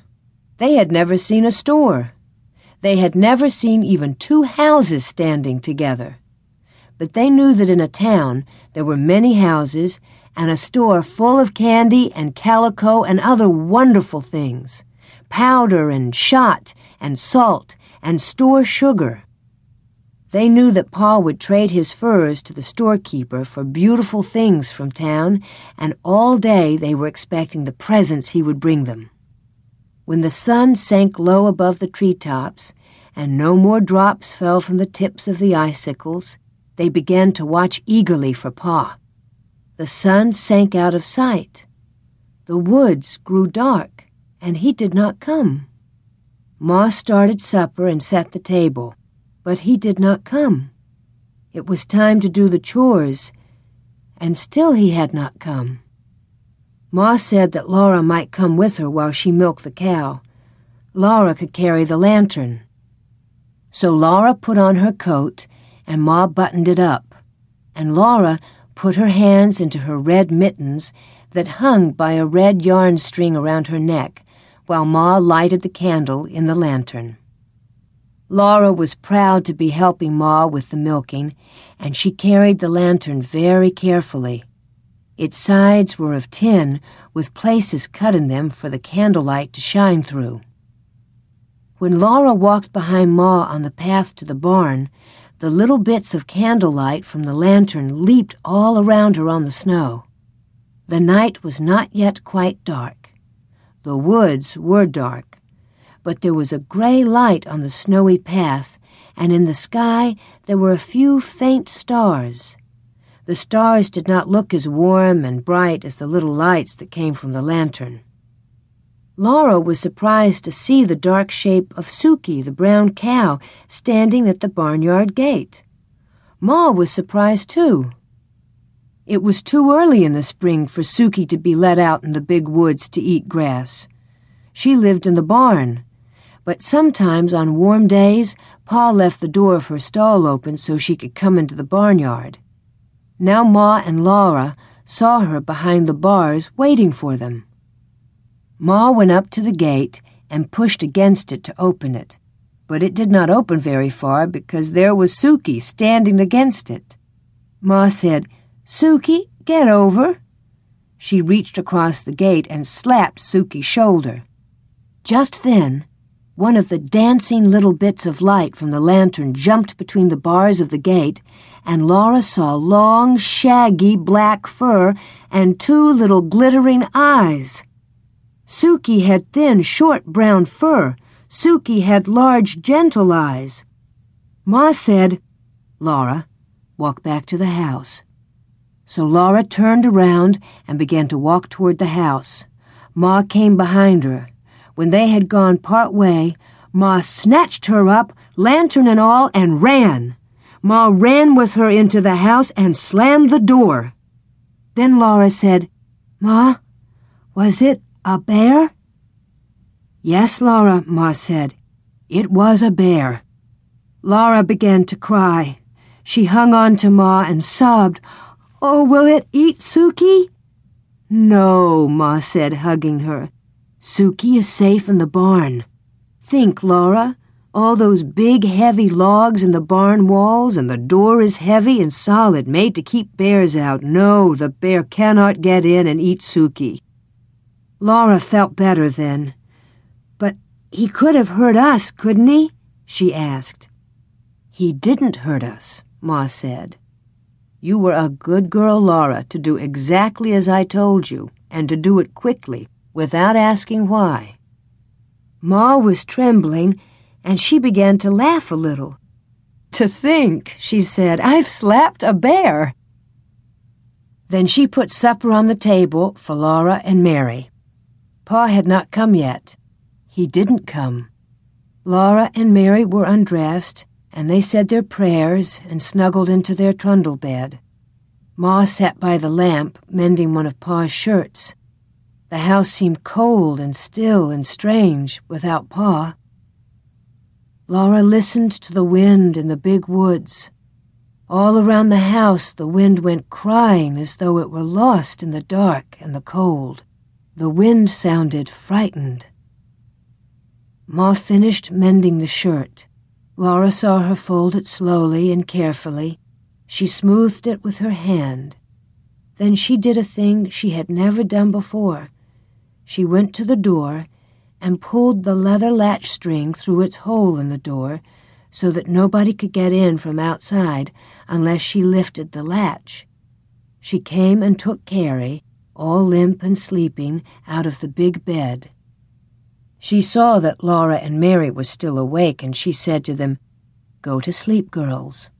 Everything is all right. Pa will be here in the morning. Then she went back to her rocking chair and sat there rocking gently and holding baby Carrie in her arms. She was sitting up late, waiting for Pa, and Laura and Mary meant to stay awake too till he came, but at last they went to sleep. In the morning, Pa was there. He had brought candy for Laura and Mary and two pieces of pretty calico to make them each a dress.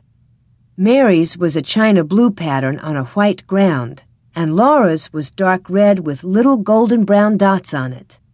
Ma had calico for a dress, too. It was brown with a big feathery white pattern all over it. They were all happy because Pa had got such good prices for his furs that he could afford to get them such beautiful presents. The tracks of the big bear were all around the barn, and there were marks of his claws on the walls, but Sukey and the horses were safe inside. All that day the sun shone, the snow melted, and little streams of water ran from the icicles, which all the time grew thinner. Before the sun set that night, the bear tracks were only shapeless marks in the wet, soft snow. After supper, Pa took Laura and Mary on his knees and said he had a new story to tell them. The story of Pa and the bear in the way. When I went to town yesterday with the furs, I found it hard walking in the soft snow. It took me a long time to get to town and other men with furs had come in earlier to do their trading. The storekeeper was busy, and I had to wait until he could look at my furs. Then we had to bargain about the price of each one, and then I had to pick out things I wanted to take and trade.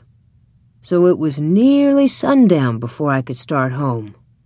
I tried to hurry, but the walking was hard and I was tired, so I had not gone far before night came and I was alone in the big woods without my gun. There were still six miles to walk, and I came along as fast as I could. The night grew darker and darker, and I wished for my gun because I knew that some of the bears had come out of their winter dens. I had seen their tracks when I went to town in the morning. Bears are hungry and cross at this time of year. You know they've been sleeping in their dens all winter long with nothing to eat, and that makes them thin and angry when they wake up. I did not want to meet one. I hurried along as quick as I could in the dark. By and by, the stars gave a little light. It was still black as pitch where the woods were thick, but in the open places I could see dimly. I could see the snowy road ahead a little way, and I could see the dark woods standing all around me. I was glad when I came into an open place where the stars gave me this faint light. All the time I was watching as well as I could for bears. I was listening for the sounds they make when they go carelessly through the bushes. Then I came again into an open place, and there, right in the middle of my road, I saw a big black bear. He was standing up on his hind legs looking at me. I could see his eyes shine. I could see his pig snout. I could even see one of his claws in the starlight. My scalp prickled and my hair stood straight up. I stopped in my tracks and stood still. The bear did not move. There he stood looking at me.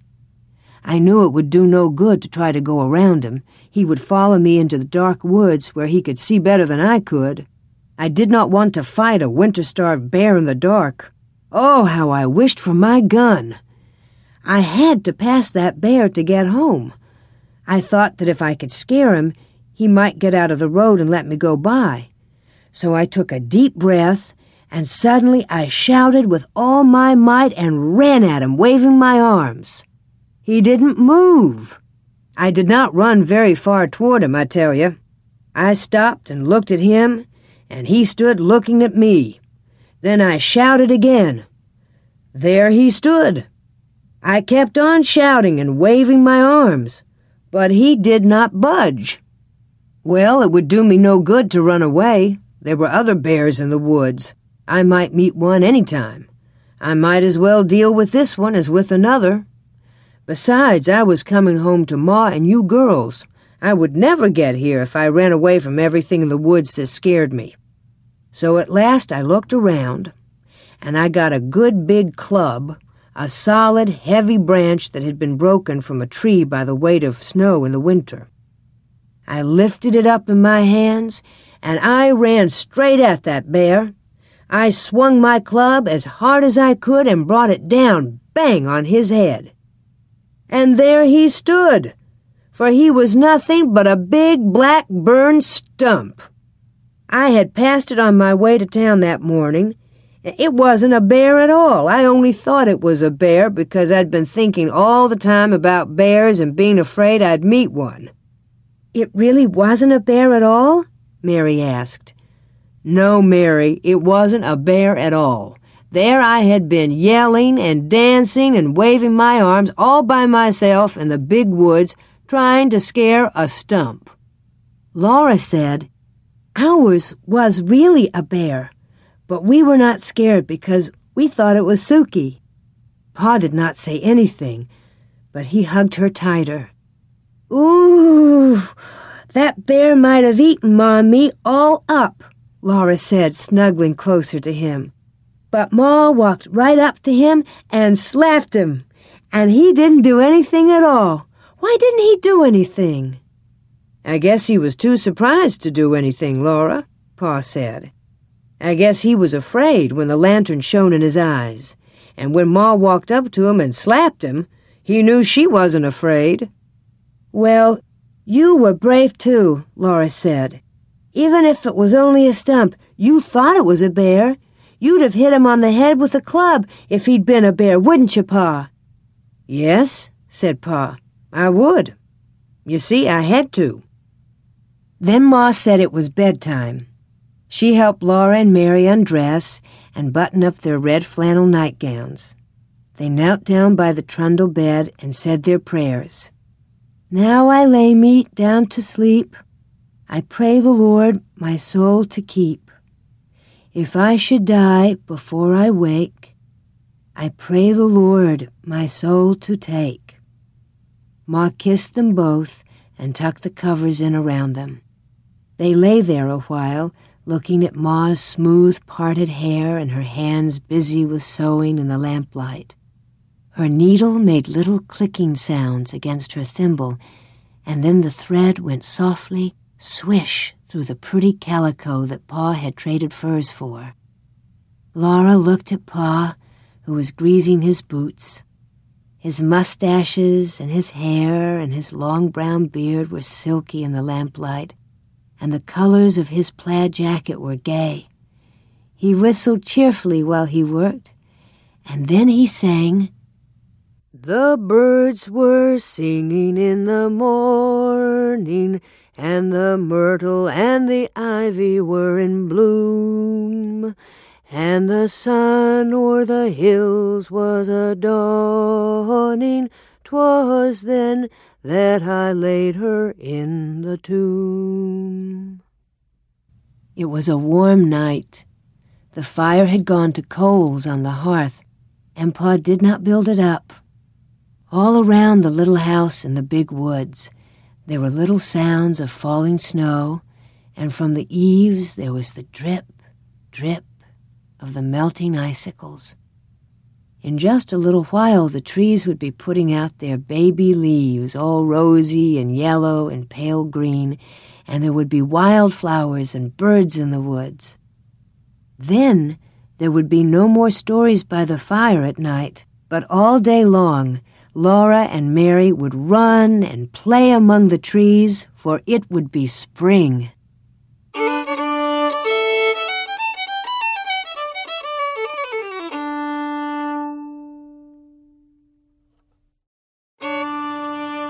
The Sugar Snow.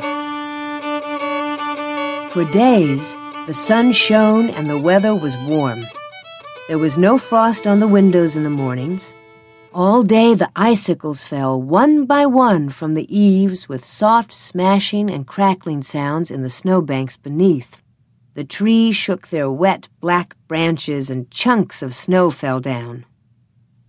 When Mary and Laura pressed their noses against the cold window pane, they could see the drip of water from the eaves and the bare branches of the trees. The snow did not glitter.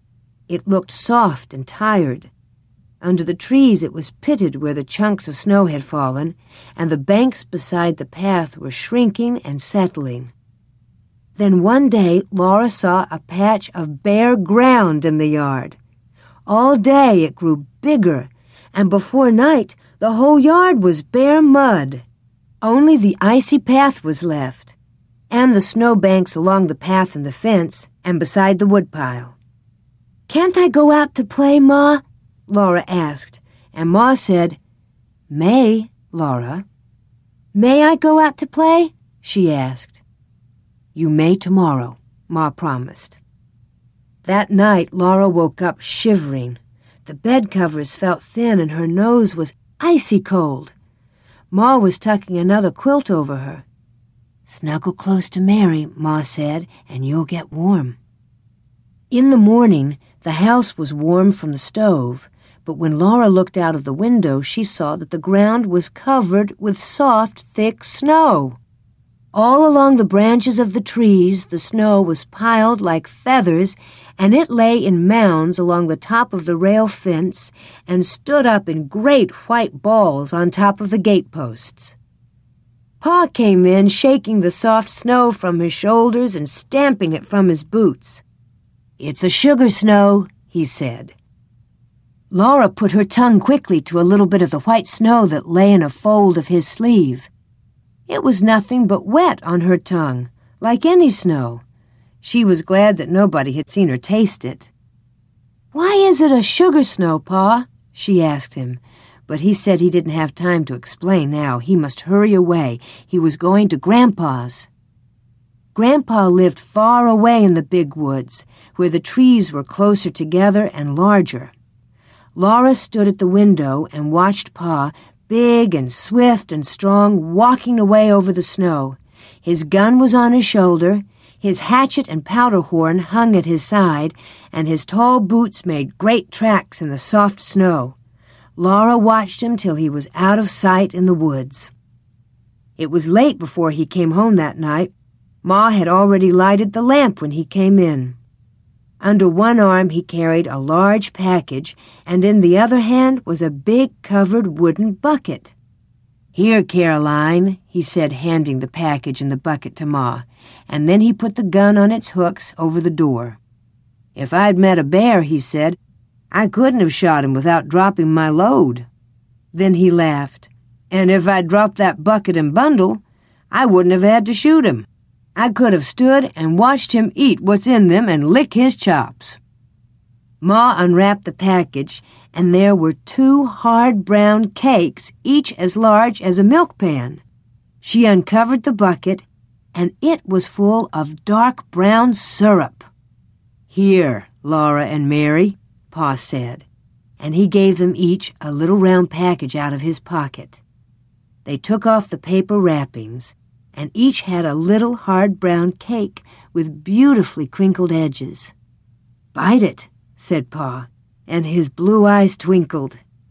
Each bit off one little crinkle, and it was sweet. It crumbled in their mouths. It was better even than their Christmas candy. Maple sugar, said Pa. Supper was ready, and Laura and Mary laid the little maple sugar cakes beside their plates while they ate the maple syrup on their bread. After supper, Pa took them on his knees as he sat before the fire and told them about his day at Grandpa's and the sugar snow. All winter, Pa said, Grandpa has been making wooden buckets and little troughs. He made them of cedar and white ash, for those woods won't give a bad taste to the maple syrup. To make the troughs, he split out little sticks as long as my hand and as big as my two fingers. Near one end, Grandpa cut the stick half through and split one half off. This left him a flat stick with a square piece at one end. Then with a bit, he bored a hole lengthwise through the square part, and with his knife he whittled the wood till it was only a thin shell around the round hole. The flat part of the stick he hollowed out with his knife till it was a little trough. He made dozens of them, and he made ten new wooden buckets. He had them all ready when the first warm weather came and the sap began to move in the trees. Then he went into the maple woods, and with the bit he bored a hole in each maple tree, and he hammered the round end of the little trough into the hole, and he set a cedar bucket on the ground under the flat end. The sap, you know, is the blood of a tree. It comes up from the roots when warm weather begins in the spring, and it goes to the very tip of each branch and twig to make the green leaves grow. Well, when the maple sap came to the hole in the tree, it ran out of the tree, down the little trough, and into the bucket. Oh, didn't it hurt the poor tree? Laura asked. No more than it hurts you when you prick your finger and it bleeds, said Pa. Every day Grandpa puts on his boots and his warm coat and his fur cap, and he goes out into the snowy woods and gathers the sap. With a barrel on a sled, he drives from tree to tree and empties the sap from the buckets into the barrel. Then he hauls it to a big iron kettle that hangs by a chain from a cross timber between two trees. He empties the sap into the iron kettle. There's a big bonfire under the kettle, and the sap boils, and Grandpa watches it carefully. The fire must be hot enough to keep the sap boiling, but not hot enough to make it boil over. Every few minutes, the sap must be skimmed. Grandpa skims it with a big long handled wooden ladle that he made of basswood. When the sap gets too hot, Grandpa lifts ladlefuls of it high in the air and pours it back slowly. This cools the sap a little and keeps it from boiling too fast. When the sap is boiled down just enough, he fills the buckets with the syrup. After that, he boils the sap until it grains when he cools it in a saucer. The instant the sap is graining, Grandpa jumps to the fire and rakes it all out from beneath the kettle. Then, as fast as he can, he ladles the thick syrup into the milk pans that are standing ready. In the pans, the syrup turns to cakes of hard brown maple sugar. So that's why it's a sugar snow? Because Grandpa is making sugar? Laura asked. No, Pa said. It's called a sugar snow because a snow this time of year means that men can make more sugar. You see, this little cold spell and the snow will hold back the leafing of the trees, and that makes a longer run of sap. When there's a long run of sap, it means that Grandpa can make enough maple sugar to last all the year for common every day. When he takes his furs to town, he will not need to trade for much store sugar. He will get only a little store sugar to have on the table when company comes. Grandpa must be glad there's a sugar snow, Laura said. Yes, Pa said, he's very glad. He's going to sugar off again next Monday, and he says we must all come. Pa's blue eyes twinkled. He'd been saving the best for the last, and he said to Ma, Hey, Caroline, there'll be a dance. Ma smiled. She looked very happy, and she laid down her mending for a minute. Oh, Charles, she said. Then she went on with her mending, but she kept on smiling. She said, I'll wear my delaine. Ma's delaine dress was beautiful. It was a dark green with a little pattern all over it that looked like ripe strawberries. A dressmaker had made it in the East, in the place where Ma came from when she married Pa and moved out west to the big woods in Wisconsin. Ma had been very fashionable before she married Pa, and a dressmaker had made her clothes. The delaine was kept wrapped in paper and laid away. Laura and Mary had never seen Ma wear it, but she had shown it to them once. She had let them touch the beautiful dark red buttons that buttoned the basque up the front, and she had shown them how neatly the whalebones were put in the seams inside with hundreds of little crisscross stitches. It showed how important a dance was if Ma was going to wear the beautiful Delaine dress. Laura and Mary were excited. They bounced up and down on Pa's knees and asked questions about the dance until at last he said, Now you girls run along to bed. You'll know all about the dance when you see it. I have to put a new string on my fiddle. There were sticky fingers and sweet mouths to be washed. Then there were prayers to be said. By the time Laura and Mary were snug in their trundle bed, Pa and the fiddle were both singing while he kept time with his foot on the floor. I'm Captain Jinks of the Horse Marines. I feed my horse on corn and beans, and I often go beyond my means. From Captain Jinks of the Horse Marines, I'm captain in the army.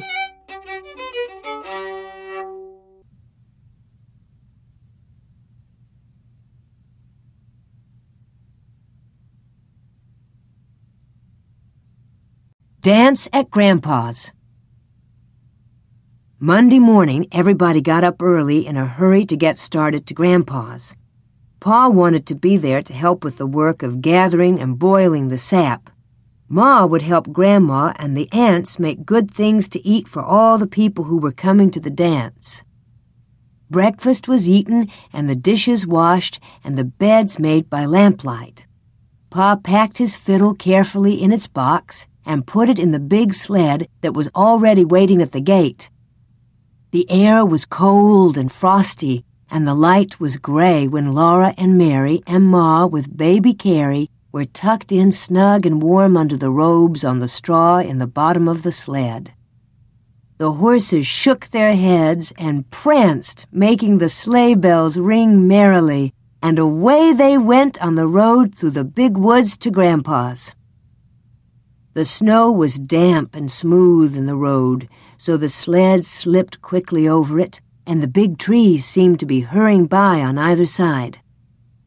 After a while, there was sunshine in the woods, and the air sparkled. The long streaks of yellow light lay between the shadows of the tree trunks, and the snow was colored faintly pink.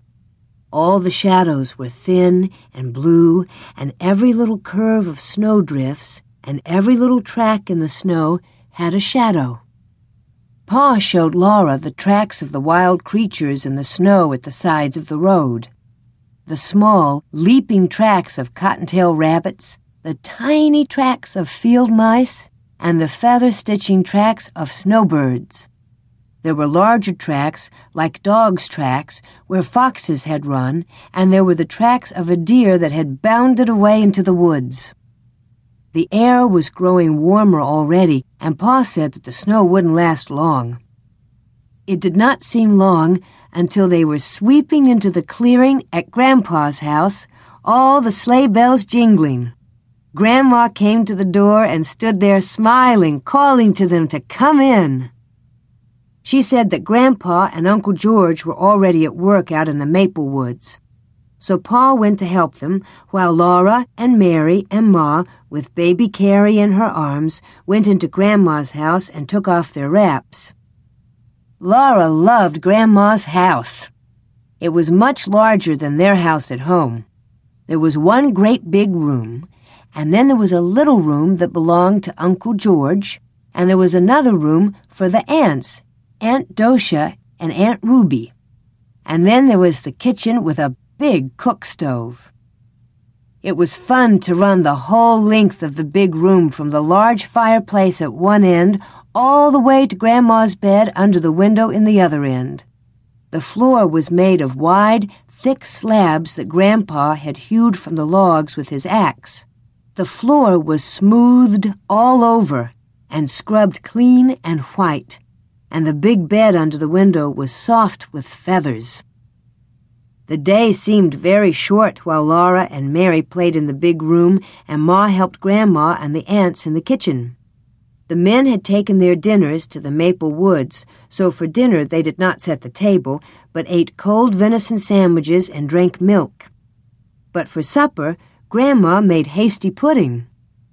She stood by the stove, sifting the yellow cornmeal from her fingers into a kettle of boiling, salted water.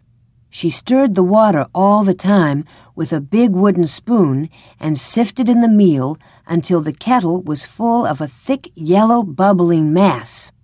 Then she set it on the back of the stove where it would cook slowly. It smelled good. The whole house smelled good, with the sweet and spicy smells from the kitchen and the smell of the hickory logs burning with clear, bright flames in the fireplace, and the smell of a clove apple beside Grandma's mending basket on the table. The sunshine came in through the sparkling window panes, and everything was large and spacious and clean. At supper time, Pa and Grandpa came from the woods. Each had on his shoulders a wooden yoke that Grandpa had made. It was cut to fit around their necks in the back and hollowed out to fit over their shoulders. From each end hung a chain with a hook, and on each hook hung a big wooden bucket full of hot maple syrup. Pa and Grandpa had brought the syrup from the big kettle in the woods. They steadied the buckets with their hands, but the weight hung from the yokes on their shoulders. Grandma made room for a huge brass kettle on the stove. Pa and Grandpa poured the syrup into the brass kettle, and it was so large that it held all the syrup from the four big buckets. Then Uncle George came with a smaller bucket of syrup, and everybody ate the hot, hasty pudding with maple syrup for supper. Uncle George was home from the army. He wore his blue army coat with the brass buttons, and he had bold, merry blue eyes. He was big and broad, and he walked with a swagger. Laura looked at him all the time she was eating her hasty pudding because she'd heard Pa say to Ma that he was wild.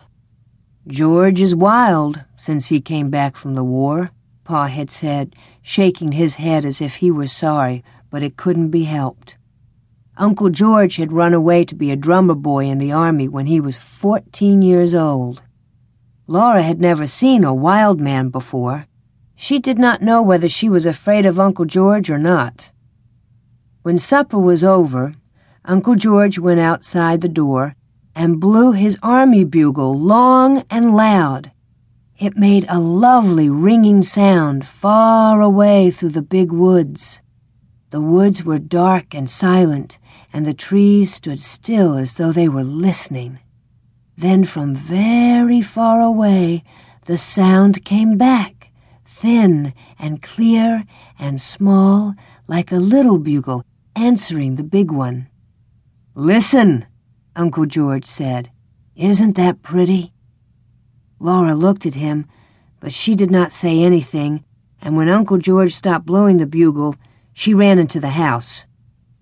Ma and Grandma cleared away the dishes and washed them and swept the hearth, while Aunt Docia and Aunt Ruby made themselves pretty in their room. Laura sat on their bed and watched them comb out their long hair and part it carefully. They parted it from their foreheads to the napes of their necks, and then they parted it across from ear to ear. They braided their back hair in long braids and then they did the braids up carefully in big knots. They had washed their hands and faces and scrubbed them well with soap at the wash basin on the bench in the kitchen. They had used store soap, not the slimy, soft, dark brown soap that Grandma made and kept in a big jar to use for common every day. They fussed for a long time with their front hair, holding up the lamp and looking at their hair in the little looking glass that hung on the log wall. They brushed it so smooth on each side of the straight white part that it shone like silk in the lamplight. The little puff on each side shone too, and the ends were coiled and twisted neatly under the big knot in the back. Then they pulled on their beautiful white stockings that they had knit of fine cotton thread in lacy openwork patterns, and they buttoned up their best shoes. They helped each other with their corsets. Aunt Docia pulled as hard as she could on Aunt Ruby's corset strings, and then Aunt Docia hung on to the foot of the bed while Aunt Ruby pulled on hers. Pull, Ruby, pull, Aunt Docia said, breathless. Pull harder! So Aunt Ruby braced her feet and pulled harder. Aunt Docia kept measuring her waist with her hands, and at last she gasped, I guess that's the best you can do. She said, Caroline says Charles could span her waist with his hands when they were married. Caroline was Laura's ma, and when she heard this, Laura felt proud. Then Aunt Ruby and Aunt Docia put on their flannel petticoats and their plain petticoats and their stiff, starched white petticoats with knitted lace all around the flounces, and they put on their beautiful dresses. Aunt Docia's dress was a sprigged print, dark blue, with sprigs of red flowers and green leaves thick upon it. The basque was buttoned down the front with black buttons, which looked so exactly like juicy big blackberries that Laura wanted to taste them. Aunt Ruby's dress was wine colored calico, covered all over with a feathery pattern in lighter wine color. It buttoned with gold colored buttons, and every button had a little castle and a tree carved on it. Aunt Docia's pretty white collar was fastened in front with a large round cameo pin, which had a lady's head on it. But Aunt Ruby pinned her collar with a red rose made of sealing wax. She had made it herself on the head of a darning needle which had a broken eye, so it couldn't be used as a needle any more. They looked lovely sailing over the floor so smoothly with their large round skirts. Their little waists rose up tight and slender in the middle, and their cheeks were red and their eyes bright under the wings of shining sleek hair. Ma was beautiful too in her dark green delaine with the little leaves that looked like strawberries scattered over it. The skirt was ruffled and flounced and draped and trimmed with knots of dark green ribbon, and nestling at her throat was a gold pin. The pin was flat, as long and as wide as Laura's two biggest fingers, and it was carved all over and scalloped on the edges. Ma looked so rich and fine that Laura was afraid to touch her. People had begun to come. They were coming on foot through the snowy woods with their lanterns, and they were driving up to the door in sleds and in wagons. Sleigh bells were jingling all the time.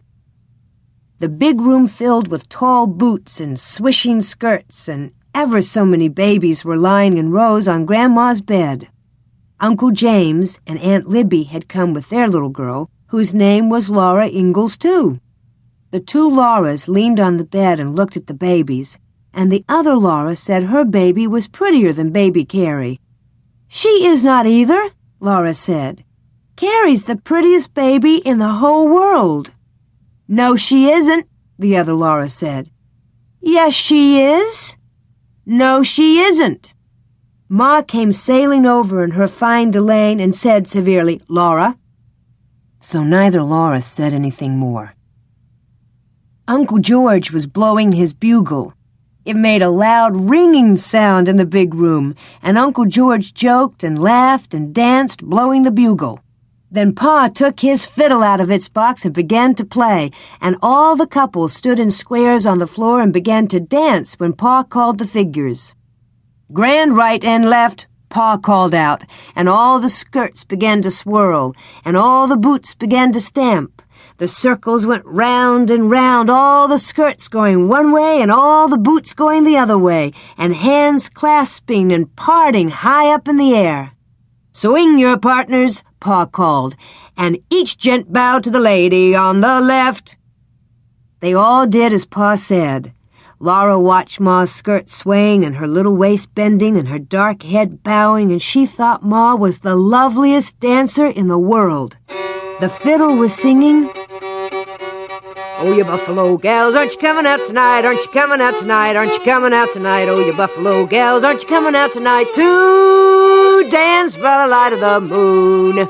The little circles and the big circles went round and round, and the skirts swirled, and the boots stamped, and the partners bowed and separated and met and bowed again.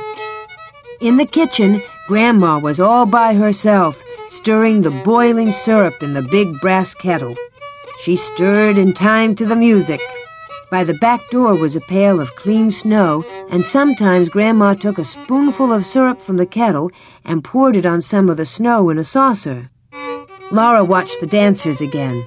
Pa was playing the Irish washerwoman now. He called, Dosey ladies, dosey do, come down heavy on your heel and toe. Laura could not keep her feet still. Uncle George looked at her and laughed. Then he caught her by the hand and did a little dance with her in the corner. She liked Uncle George. Everybody was laughing over by the kitchen door. They were dragging Grandma in from the kitchen. Grandma's dress was beautiful, too, a dark blue calico with autumn-colored leaves scattered over it. Her cheeks were pink from laughing, and she was shaking her head. The wooden spoon was in her hand. I can't leave the syrup, she said. But Pa began to play the Arkansas Traveler, and everybody began to clap in time to the music. So Grandma bowed to them all and did a few steps by herself. She could dance as prettily as any of them. The clapping almost drowned the music of Pa's fiddle. Suddenly, Uncle George did a pigeon wing, and bowing low before Grandma, he began to jig.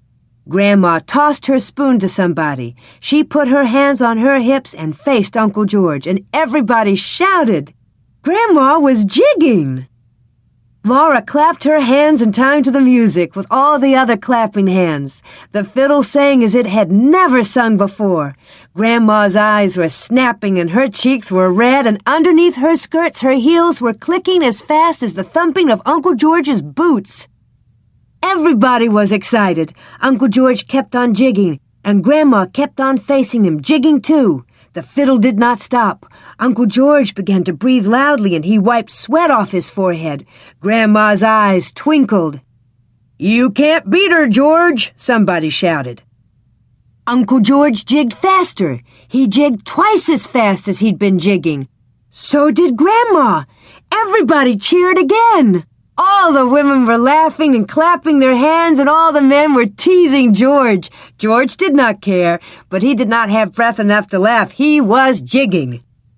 Pa's blue eyes were snapping and sparking. He was standing up watching George and Grandma, and the bow danced over the fiddle strings. Laura jumped up and down and squealed and clapped her hands.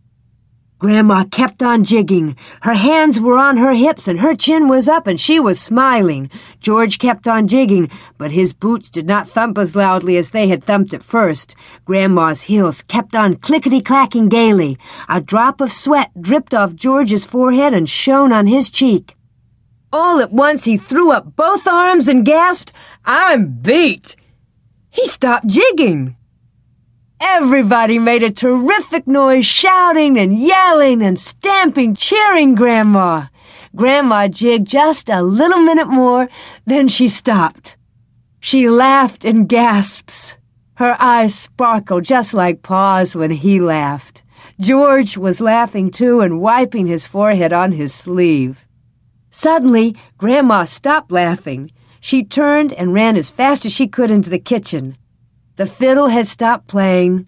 All the women were talking at once and all the men teasing George, but everybody was still for a minute when Grandma looked like that. Then she came to the door between the kitchen and the big room and said, The syrup is waxing.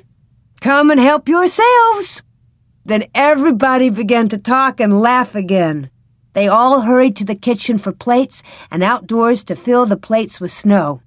The kitchen door was open and the cold air came in. Outdoors, the stars were frosty in the sky and the air nipped Laura's cheeks and nose. Her breath was like smoke. She and the other Laura and all the other children scooped up clean snow with their plates. Then they went back into the crowded kitchen. Grandma stood by the brass kettle, and with the big wooden spoon, she poured hot syrup on each plate of snow. It cooled into soft candy, and as fast as it cooled, they ate it. They could eat all they wanted, for maple sugar never hurt anybody. There was plenty of syrup in the kettle and plenty of snow outdoors. As soon as they ate one plateful, They filled their plates with snow again, and Grandma poured more syrup on it. When they had eaten the soft maple candy until they could eat no more of it, then they helped themselves from the long table loaded with pumpkin pies and dried berry pies and cookies and cakes. There was salt rising bread, too, and cold boiled pork and pickles. Ooh, how sour the pickles were! They all ate till they could hold no more, and then they began to dance again. But Grandma watched the syrup in the kettle. Many times she took a little bit of it out into a saucer and stirred it round and round. Then she shook her head and poured the syrup back into the kettle. The other room was loud and merry with the music of the fiddle and the noise of the dancing. At last, as Grandma stirred, the syrup in the saucer turned into little grains like sand, and Grandma called, Quick, girls! It's graining! Aunt Ruby and Aunt Docia and Ma left the dance and came running.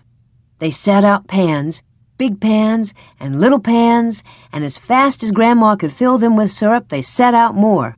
They set the filled ones away to cool into maple sugar. Then Grandma said, Now bring the patty pans for the children. There was a patty pan, or at least a broken cup or a saucer, for every little girl and boy. They all watched anxiously while Grandma ladled out the syrup. Perhaps there would not be enough. Then somebody would have to be unselfish and polite. There was just enough syrup to go round. The last scrapings of the brass kettle exactly filled the very last patty pan. Nobody was left out. The fiddling and the dancing went on and on. Laura and the other Laura stood around and watched the dancers. Then they sat down on the floor in a corner and watched. The dancing was so pretty and the music so gay that Laura knew she could never get tired of it. All the beautiful skirts went swirling by, and the boots went stamping, and the fiddle kept on singing gaily. Then Laura woke up, and she was lying across the foot of Grandma's bed. It was morning. Ma and Grandma and baby Carrie were in the bed. Pa and Grandpa were sleeping rolled up in blankets on the floor by the fireplace. Mary was nowhere in sight. She was sleeping with Aunt Docia and Aunt Ruby in their bed. Soon everybody was getting up. There were pancakes and maple syrup for breakfast, and then Pa brought the horses and sled to the door. He helped Ma and Carrie in, while Grandpa picked up Mary and Uncle George picked up Laura, and they tossed them over the edge of the sled into the straw. Pa tucked in the robes around them, and Grandpa and Grandma and Uncle George stood calling, Goodbye, goodbye, as they rode away into the big woods, going home. The sun was warm and the trotting horses threw up bits of muddy snow with their hooves. Behind the sled, Laura could see their footprints, and every footprint had gone through the thin snow into the mud. Before night, Pa said, we'll see the last of the sugar snow. Going to town. After the sugar snow had gone, spring came. Birds sang in the leafing hazel bushes along the crooked rail fence. The grass grew green again, and the woods were full of wildflowers. Buttercups and violets, thimble flowers, and tiny starry grass flowers were everywhere. As soon as the days were warm, Laura and Mary begged to be allowed to run barefoot. At first, they might only run out around the woodpile and back in their bare feet. Next day, they could run farther, and soon their shoes were oiled and put away, and they ran barefoot all day long. Every night, they had to wash their feet before they went to bed. Under the hems of their skirts, their ankles and their feet were as brown as their faces. They had playhouses under the two big oak trees in front of the house. Mary's playhouse was under Mary's tree, and Laura's playhouse was under Laura's tree. The soft grass made a green carpet for them. The green leaves were the roofs, and through them they could see bits of the blue sky. Pa made a swing of tough bark and hung it to a large low branch of Laura's tree. It was her swing because it was in her tree, but she had to be unselfish and let Mary swing in it whenever she wanted to. Mary had a cracked saucer to play with, and Laura had a beautiful cup with only one big piece broken out of it. Charlotte and Nettie and the two little wooden men Pa had made lived in the playhouse with them. Every day they made fresh leaf hats for Charlotte and Nettie, and they made little leaf cups and saucers to set on their table. The table was a nice, smooth rock. Sukey and Rosie, the cows, were turned loose in the woods now to eat the wild grass and the juicy new leaves. There were two little calves in the barnyard and seven little pigs with the mother hog in the pig pen. In the clearing he had made last year, Pa was plowing around the stumps and putting in his crops. One night he came in from work and said to Laura, What do you think I saw today? She couldn't guess. Well, Pa said, when I was working in the clearing this morning, I looked up and there at the edge of the wood stood a deer. She was a doe, a mother deer, and you'll never guess what was with her. A baby deer? Laura and Mary guessed together, clasping their hands. Yes, Pa said. Her fawn was with her. It was a pretty little thing, the softest fawn color with big dark eyes. It had the tiniest feet, not much bigger than my thumb, and it had slender little legs and the softest muzzle. It stood there and looked at me with its large, soft eyes, wondering what I was. It was not afraid at all. You wouldn't shoot a little baby deer, would you, Pa? Laura said. No, never, he answered, nor its ma, nor its pa. No more hunting now, till all the little wild animals have grown up. We'll just have to do without fresh meat till fall. Pa said that as soon as he had the crops in, they would all go to town. Laura and Mary could go too. They were old enough now. They were very much excited, and next day they tried to play going to town. They could not do it very well because they were not quite sure what a town was like. They knew there was a store in town, but they'd never seen a store. Nearly every day after that, Charlotte and Nettie would ask if they could go to town. But Laura and Mary always said, No, dear, you can't go this year. Perhaps next year, if you're good, then you can go. Then one night Pa said, We'll go to town tomorrow. That night, though it was the middle of the week, Ma bathed Laura and Mary all over, and she put up their hair. She divided their long hair into wisps, combed each wisp with a wet comb, and wound it tightly on a bit of rag. There were knobby little bumps all over their heads, whichever way they turned on their pillows. In the morning, their hair would be curly. They were so excited that they did not go to sleep at once. Ma was not sitting with her mending basket as usual. She was busy getting everything ready for a quick breakfast and laying out the best stockings and petticoats and dresses and Pa's good shirt and her own dark brown calico with the little purple flowers on it. The days were longer now. In the morning, Ma blew out the lamp before they finished breakfast. It was a beautiful, clear spring morning. Ma hurried Laura and Mary with their breakfast, and she washed the dishes quickly. They put on their stockings and shoes while she made the beds. Then she helped them put on their best dresses Mary's china blue calico and Laura's dark red calico. Mary buttoned Laura up the back, and then Ma buttoned Mary. Ma took the rags off their hair and combed it into long, round curls that hung down over their shoulders.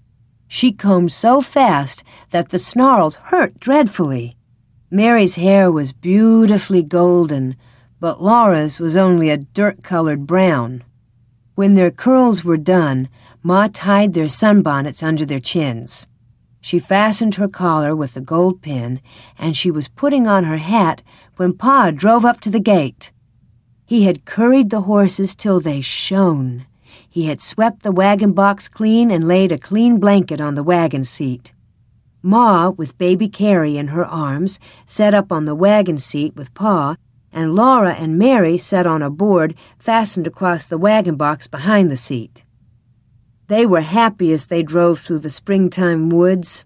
Carrie laughed and bounced, Ma was smiling, and Pa whistled while he drove the horses. The sun was bright and warm on the road. Sweet, cool smells came out of the leafy woods. Rabbits stood up in the road ahead, their little front paws dangling down and their noses sniffing, and the sun shone through their tall, twitching ears. Then they bounded away with a flash of little white tail. Twice, Laura and Mary saw deer looking at them with their large, dark eyes from the shadows among the trees. It was seven miles to town. The town was named Pepin, and it was on the shore of Lake Pepin. After a long time, Laura began to see glimpses of blue water between the trees. The hard road turned to soft sand. The wagon wheels went deep down in it, and the horses pulled and sweated. Often Pa stopped them to rest for a few minutes. Then all at once, the road came out of the woods, and Laura saw the lake. It was as blue as the sky, and it went to the edge of the world. As far as she could see, there was nothing but flat blue water. Very far away, the sky and the water met, and there was a darker blue line. The sky was large overhead. Laura had never known that the sky was so big. There was so much empty space all around her that she felt small and frightened and glad that Pa and Ma were there. Suddenly the sunshine was hot. The sun was almost overhead in the large empty sky, and the cool woods stood back from the edge of the lake. Even the big woods seemed smaller under so much sky. Pa stopped the horses and turned around on the wagon seat. He pointed ahead with his whip. There you are, Laura and Mary, he said. There's the town of Pepin. Laura stood up on the board, and Pa held her safe by the arm so she could see the town. When she saw it, she could hardly breathe. She knew how Yankee Doodle felt when he could not see the town because there were so many houses. Right on the edge of the lake, there was one great big building. That was the store, Pa told her. It was not made of logs. It was made of wide gray boards running up and down. The sand spread all around it. Behind the store there was a clearing larger than Pa's clearing in the woods at home. Standing among the stumps, there were more houses than Laura could count. They were not made of logs either. They were made of boards like the store. Laura had never imagined so many houses, and they were so close together. Of course, they were much smaller than the store, one of them was made of new boards that had not had time to get gray. It was the yellow color of newly cut wood. People were living in all these houses. Smoke rose up from their chimneys. Though it was not Monday, some woman had spread out a washing on the bushes and stumps by her house. Several girls and boys were playing in the sunshine in the open space between the store and the houses. They were jumping from one stump to the next stump and shouting. Well, that's Pepin, Pa said. Laura just nodded her head. She looked and looked and could not say a word. After a while, she sat down again, and the horses went on. They left the wagon on the shore of the lake. Pa unhitched the horses and tied one to each side of the wagon box. Then he took Laura and Mary by the hand, and Ma came beside them carrying baby Carrie. They walked through the deep sand to the store. The warm sand came in over the tops of Laura's shoes. There was a wide platform in front of the store, and at one end of it, steps went up to it out of the sand. Laura's heart was beating so fast that she could hardly climb the steps. She was trembling all over. This was the store to which Pa came to trade his furs. When they went in, the storekeeper knew him.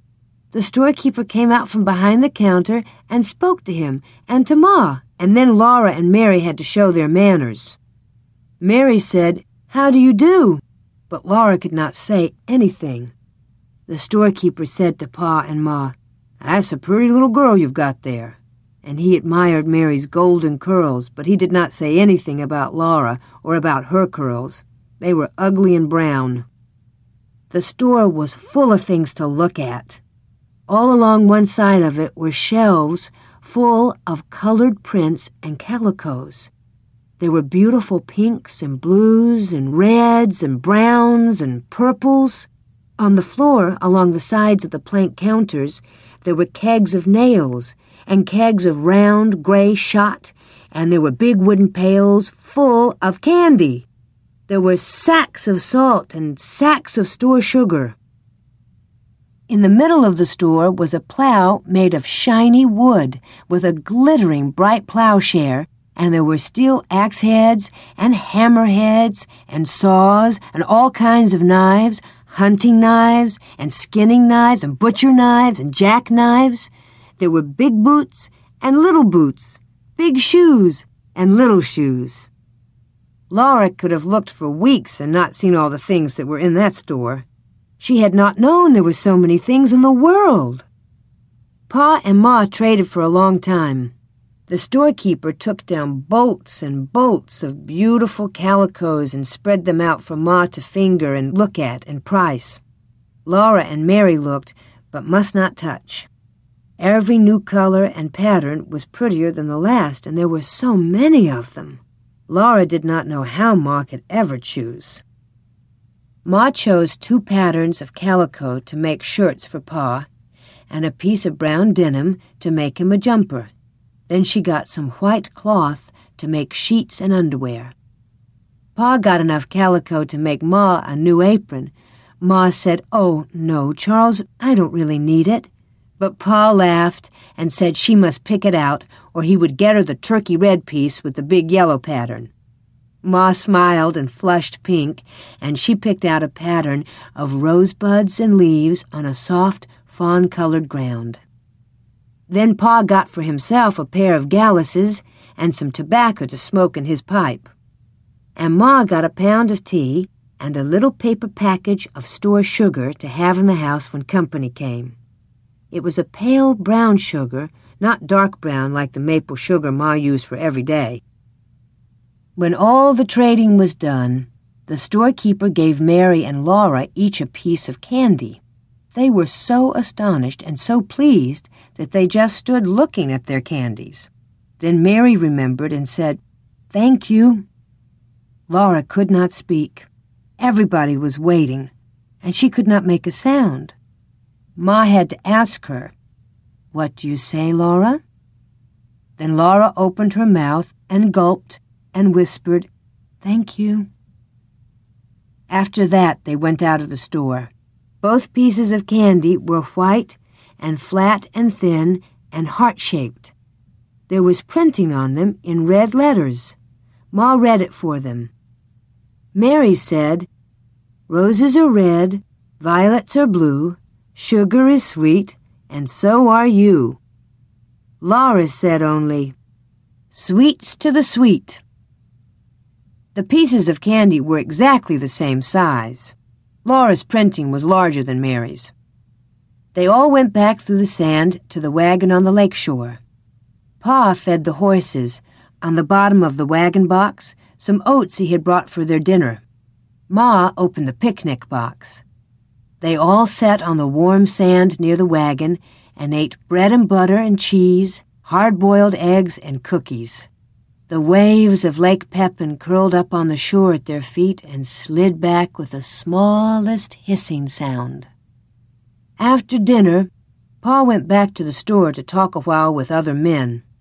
Ma sat holding Carrie quietly until she went to sleep. But Laura and Mary ran along the lake shore, picking up pretty pebbles that had been rolled back and forth by the waves until they were polished smooth. There were no pebbles like that in the big woods. When she found a pretty one, Laura put it in her pocket, and there were so many, each prettier than the last, that she filled her pocket full.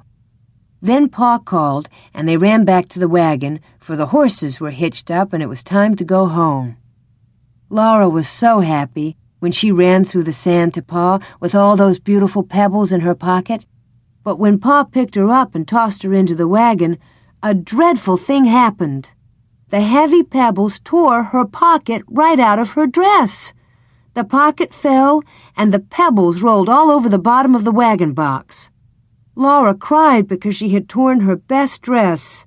Ma gave Carrie to Pa and came quickly to look at the torn place. Then she said it was all right. Stop crying, Laura, she said. I can fix it. She showed Laura that the dress was not torn at all, nor the pocket.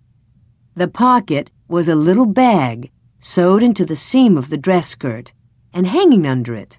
Only the seams had ripped. Ma could sew the pocket in again as good as new. Pick up the pretty pebbles, Laura, Ma said, and another time, don't be so greedy. So Laura gathered up the pebbles, put them in the pocket, and carried the pocket in her lap. She did not mind very much when Pa laughed at her for being such a greedy little girl that she took more than she could carry away. Nothing like that ever happened to Mary. Mary was a good little girl who always kept her dress clean and neat and minded her manners. Mary had lovely golden curls, and her candy heart had a poem on it. Mary looked very good and sweet, unrumpled and clean, sitting on the board beside Laura. Laura did not think it was fair. But it had been a wonderful day, the most wonderful day in her whole life. She thought about the beautiful lake, and the town she had seen, and the big store full of so many things. She held the pebbles carefully in her lap, and her candy heart wrapped carefully in her handkerchief until she got home and could put it away to keep always. It was too pretty to eat. The wagon jolted along on the homeward road through the big woods. The sun set, and the woods grew darker. But before the last of the twilight was gone, the moon rose. And they were safe, because Pa had his gun. The soft moonlight came down through the tree tops and made patches of light and shade on the road ahead. The horses' hooves made a cheerful clippity clop.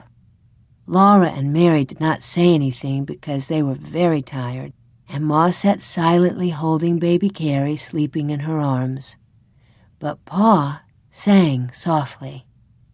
Mid pleasures and palaces, though we may roam, be it ever so humble, there's no place like home.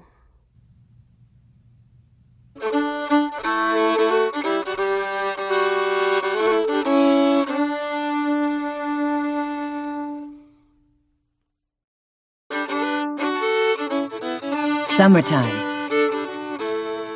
Now it was summertime, and people went visiting. Sometimes Uncle Henry or Uncle George or Grandpa came riding out of the big woods to see Pa.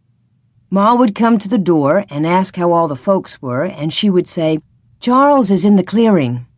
Then she would cook more dinner than usual, and dinner time would be longer. Pa and Ma and the visitor would sit talking a little while before they went back to work. Sometimes Ma let Laura and Mary go across the road and down the hill to see Mrs. Peterson. The Petersons had just moved in.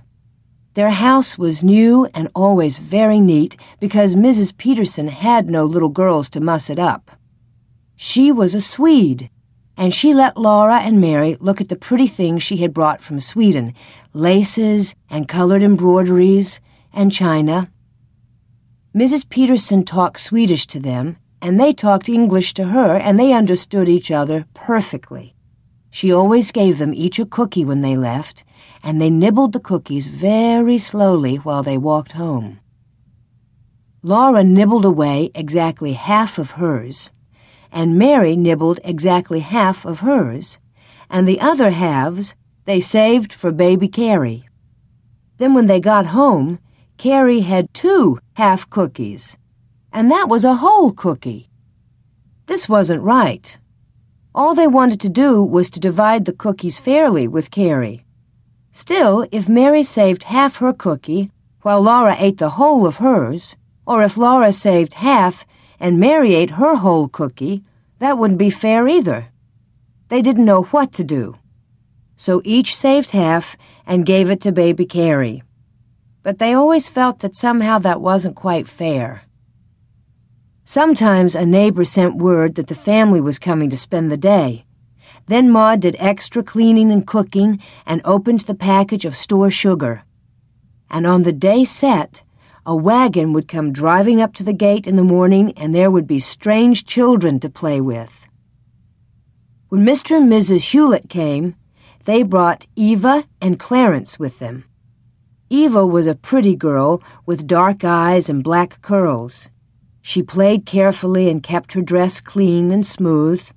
Mary liked that, but Laura liked better to play with Clarence. Clarence was red-headed and freckled and always laughing. His clothes were pretty too. He wore a blue suit buttoned all the way up the front with bright gilt buttons and trimmed with braid, and he had copper-toed shoes. The strips of copper across the toes were so glittering bright that Laura wished she were a boy. Little girls didn't wear copper toes. Laura and Clarence ran and shouted and climbed trees, while Mary and Eva walked nicely together and talked. Ma and Mrs. Huleatt visited and looked at a Godey's Lady's book which Mrs. Huleatt had brought, and Pa and Mr. Huleatt looked at the horses and the crops and smoked their pipes. Once Aunt Lottie came to spend the day. That morning, Laura had to stand still a long time while Ma unwound her hair from the cloth strings and combed it into long curls.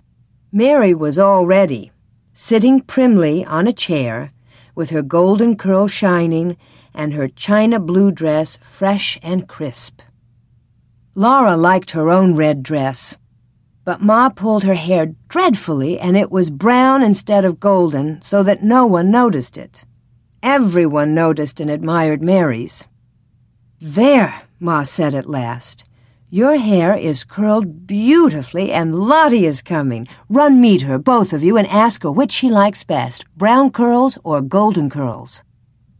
Laura and Mary ran out of the door and down the path, for Aunt Lottie was already at the gate. Aunt Lottie was a big girl, much taller than Mary. Her dress was a beautiful pink, and she was swinging a pink sunbonnet by one string. Which do you like best, Aunt Lottie? Mary asked. Brown curls or golden curls? Ma had told them to ask that, and Mary was a very good little girl who always did exactly as she was told. Laura waited to hear what Aunt Lottie would say, and she felt miserable. I like both kinds best, Aunt Lottie said, smiling. She took Laura and Mary by the hand, one on either side, and they danced along to the door where Ma stood. The sunshine came streaming through the windows into the house, and everything was so neat and pretty. The table was covered with a red cloth, and the cook stove was polished, shining black. Through the bedroom door, Laura could see the trundle bed in its place under the big bed. The pantry door stood wide open, giving the sight and smell of goodies on the shelves, and Black Susan came purring down the stairs from the attic where she had been taking a nap. It was all so pleasant, and Laura felt so gay and good that no one would ever have thought she could be as naughty as she was that evening. Aunt Lottie had gone, and Laura and Mary were tired and cross. They were at the woodpile gathering a pan of chips to kindle the fire in the morning. They always hated to pick up chips, but every day they had to do it. Tonight they hated it more than ever. Laura grabbed the biggest chip, and Mary said, I don't care. Aunt Lottie likes my hair best anyway. Golden hair is lots prettier than brown. Laura's throat swelled tight, and she could not speak. She knew golden hair was prettier than brown. She couldn't speak, so she reached out quickly and slapped Mary's face. Then she heard Pa say, Come here, Laura. She went slowly, dragging her feet. Pa was sitting just inside the door. He had seen her slap Mary.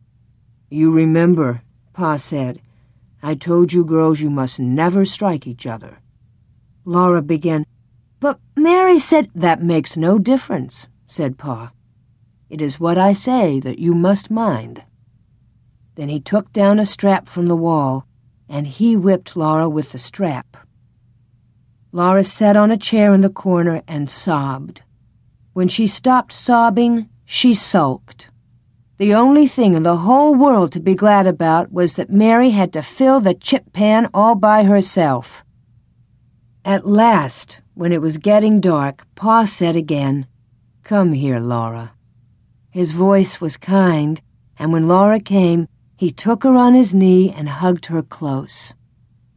She sat in the crook of his arm, her head against his shoulder and his long brown whiskers partly covering her eyes, and everything was all right again. She told Pa all about it, and she asked him, You don't like golden hair better than brown, do you? Pa's blue eyes shone down at her, and he said, Well, Laura, my hair is brown. She had not thought of that.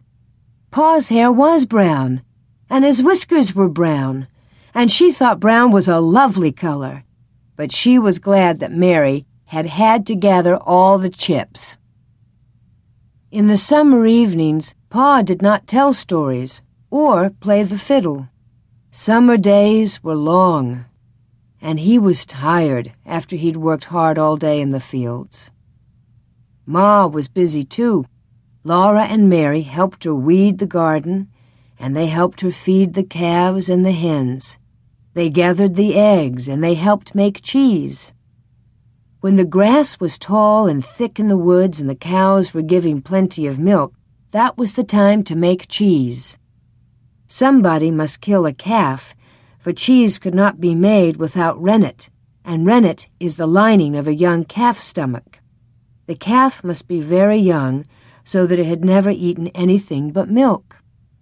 Laura was afraid that Pa must kill one of the little calves in the barn.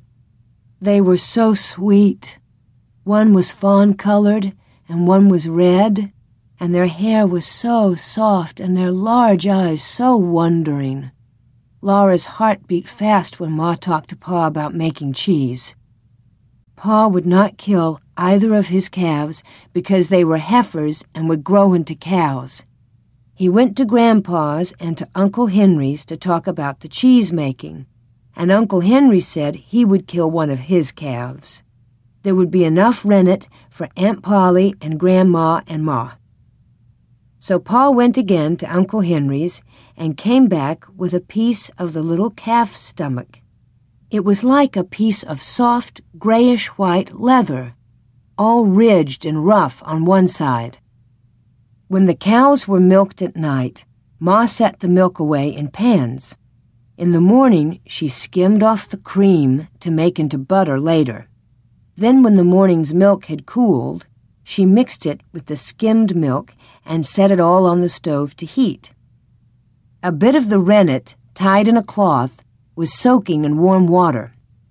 When the milk was heated enough, Ma squeezed every drop of water from the rennet in the cloth, and she poured the water into the milk. She stirred it well and left it in a warm place by the stove. In a little while, it thickened into a smooth, quivery mass. With a long knife, Ma cut this mass into little squares and let it stand while the curd separated from the whey. Then she poured it all into a cloth and let the thin yellowish whey drain out. When no more whey dripped from the cloth, Ma emptied the curd into a big pan and salted it, turning and mixing it well. Laura and Mary were always there helping all they could. They loved to eat bits of the curd when Ma was salting it. It squeaked in their teeth. Under the cherry tree outside the back door, Pa had put up the board to press the cheese on. He had cut two grooves the length of the board and laid the board on blocks, one end a little higher than the other. under the lower end stood an empty pail. Ma put her wooden cheese hoop on the board, spread a clean wet cloth all over the inside of it, and filled it heaping full of the chunks of salted curd. She covered this with another clean wet cloth and laid on top of it a round board, cut small enough to go inside the cheese hoop. Then she lifted a heavy rock on top of the board. All day long the round board settled slowly under the weight of the rock, and the whey pressed out and ran down the grooves of the board into the pail. Next morning, Ma would take out the round, pale yellow cheese as large as a milk pan. Then she made more curd and filled the cheese hoop again. Every morning she took the new cheese out of the press and trimmed it smooth. She sewed a cloth tightly around it and rubbed the cloth all over with fresh butter. Then she put the cheese on a shelf in the pantry. Every day she wiped every cheese carefully with a wet cloth, then rubbed it all over with fresh butter once more and laid it down on its other side. After a great many days, the cheese was ripe, and there was a hard rind all over it. Then Ma wrapped each cheese in paper and laid it away on the high shelf. There was nothing more to do with it but eat it. Laura and Mary liked cheese making. They liked to eat the curd that squeaked in their teeth, and they liked to eat the edges Ma pared off the big, round, yellow cheeses to make them smooth before she sewed them up in cloth. Ma laughed at them for eating green cheese. The moon is made of green cheese, some people say, she told them. The new cheese did look like the round moon when it came up behind the trees, but it was not green, it was yellow, like the moon. It's green, Ma said, because it isn't ripened yet. When it's cured and ripened, it won't be a green cheese. Is the moon really made of green cheese? Laura asked, and Ma laughed. I think people say that because it looks like a green cheese, she said. But appearances are deceiving. Then, while she wiped all the green cheeses and rubbed them with butter, she told them about the dead, cold moon that is like a little world on which nothing grows. The first day Ma made cheese, Laura tasted the whey. She tasted it without saying anything to Ma, and when Ma turned around and saw her face, Ma laughed. That night, while she was washing the supper dishes and Mary and Laura were wiping them, Ma told Pa that Laura had tasted the whey and didn't like it. You wouldn't starve to death on Ma's way, like old Grimes did on his wife's, Pa said. Laura begged him to tell her about old Grimes, so, though Pa was tired, he took his fiddle out of his box and played and sang for Laura.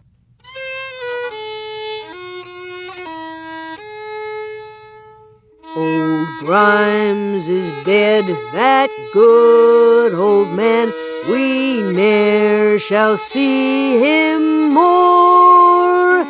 He used to wear an old gray coat, all buttoned down before. Old Grimes, his wife, made skim milk cheese Old Grimes, he drank the whey. There came an east wind from the west and blew old Grimes away.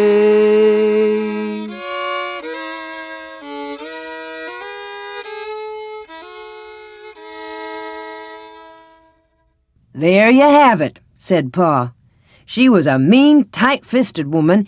If she hadn't skimmed all the milk, a little cream would have run off in the way, and old Grimes might have staggered along. But she skimmed off every bit of cream, and poor old Grimes got so thin the wind blew him away, plumb starved to death. Then Pa looked at Ma and said, Nobody'd starve to death when you were around, Caroline. Well, no, Ma said. No, Charles, not if you were there to provide for us. Pa was pleased. It was all so pleasant. The doors and windows wide open to the summer evening. The dishes making little cheerful sounds together as Ma washed them and Mary and Laura wiped, and Pa putting away the fiddle and smiling and whistling softly to himself. After a while, he said, I'm going over to Henry's tomorrow morning, Caroline, to borrow his grubbing hoe. Those sprouts are getting waist high around the stumps in the wheat field. A man just has to keep everlasting at it, or the woods'll take back the place. Early next morning, he started to walk to Uncle Henry's. But before long, he came hurrying back, hitched the horses to the wagon, threw in his axe, the two wash tubs, the wash boiler, and all the pails and wooden buckets there were. I don't know if I'll need 'em all, Caroline, he said, but I'd hate to want 'em and not have 'em. Oh, what is it? What is it? Laura asked, jumping up and down with excitement. Pa's found a bee tree, Ma said. Maybe he'll bring us some honey. It was noon before Pa came driving home. Laura had been watching for him, and she ran out to the wagon as soon as it stopped by the barnyard, but she could not see into it. Pa called, Caroline, if you'll come take this pail of honey, I'll go unhitch. Ma came out to the wagon disappointed. She said, Well, Charles, even a pail of honey is something. Then she looked into the wagon and threw up her hands. Pa laughed. All the pails and buckets were heaping full of dripping golden honeycomb. Both tubs were piled full, and so was the wash boiler. Pa and Ma went back and forth carrying the two loaded tubs and the wash boiler and all the buckets and pails into the house. Ma heaped a plate high with the golden pieces and covered all the rest neatly with cloths. For dinner, they all had as much of the delicious honey as they could eat, and Pa told them how he found the bee tree. I didn't take my gun, he said, because I wasn't hunting, and now it's summer there wasn't much danger of meeting trouble. Panthers and bears are so fat this time of year that they're lazy and good natured. Well, I took a shortcut through the woods and I nearly ran into a big bear. I came around a clump of underbrush and there he was, not as far from me as across this room. He looked around at me and I guess he saw I didn't have a gun. Anyway, he didn't pay any more attention to me. He was standing at the foot of a big tree and bees were buzzing all around him. They couldn't sting through his thick fur, and he kept brushing them away from his head with one paw. I stood there watching him, and he put the other paw into a hole in the tree and drew it out all dripping with honey. He licked the honey off his paw and reached in for more. But by that time, I had found me a club. I wanted that honey myself so I made a great racket banging the club against a tree and yelling. The bear was so fat and so full of honey that he just dropped on all fours and waddled off among the trees. I chased him some distance and got him going fast away from the bee tree, and then I came back for the wagon. Laura asked him how he got the honey away from the bees. That was easy, Pa said. I left the horses back in the woods where they wouldn't get stung, and then I chopped the tree down and split it open. Didn't the bees sting you? No, said Pa. Bees never sting me. The whole tree was hollow and filled from top to bottom with honey. The bees must have been storing honey there for years. Some of it was old and dark, but I guess I got enough good, clean honey to last us a long time. Laura was sorry for the poor bees. She said, They work so hard, and now they won't have any honey. But Pa said there was lots of honey left for the bees, and there was another large hollow tree nearby into which they could move. He said it was time they had a clean new home. They would take the old honey he had left in the old tree, make it into fresh new honey, and store it in their new house. They would save every drop of the spilled honey and put it away, and they would have plenty of honey again long before winter came. Harvest Pa and Uncle Henry traded work.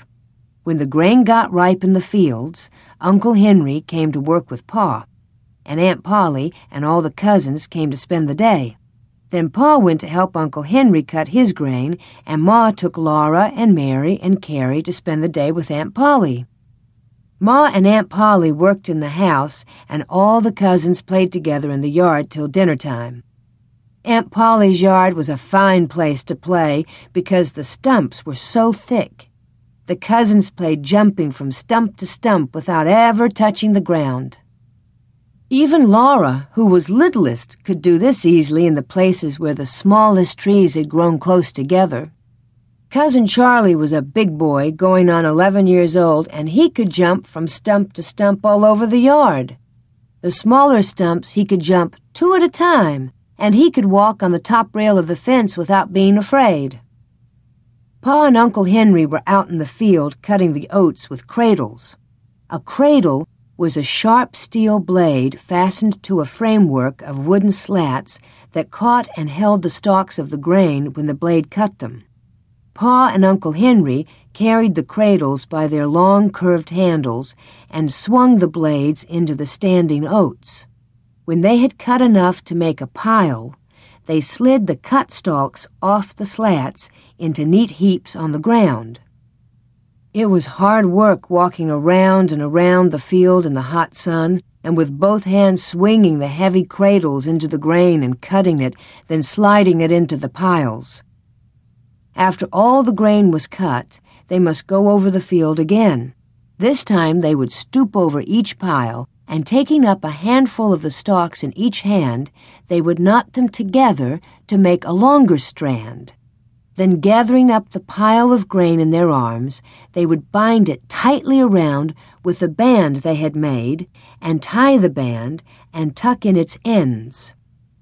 After they'd made seven such bundles, then the bundles must be shocked. To make a shock, they stood five bundles upright, snugly together with the oat heads up. Then over these they put two more bundles, spreading out the stalks to make a little roof and shelter the five bundles from dew and rain.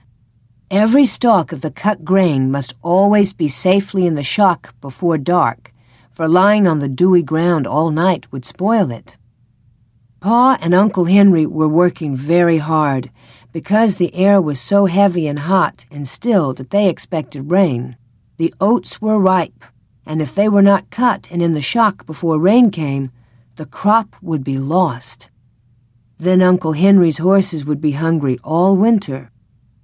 At noon, Pa and Uncle Henry came to the house in a great hurry and swallowed their dinner as quickly as they could.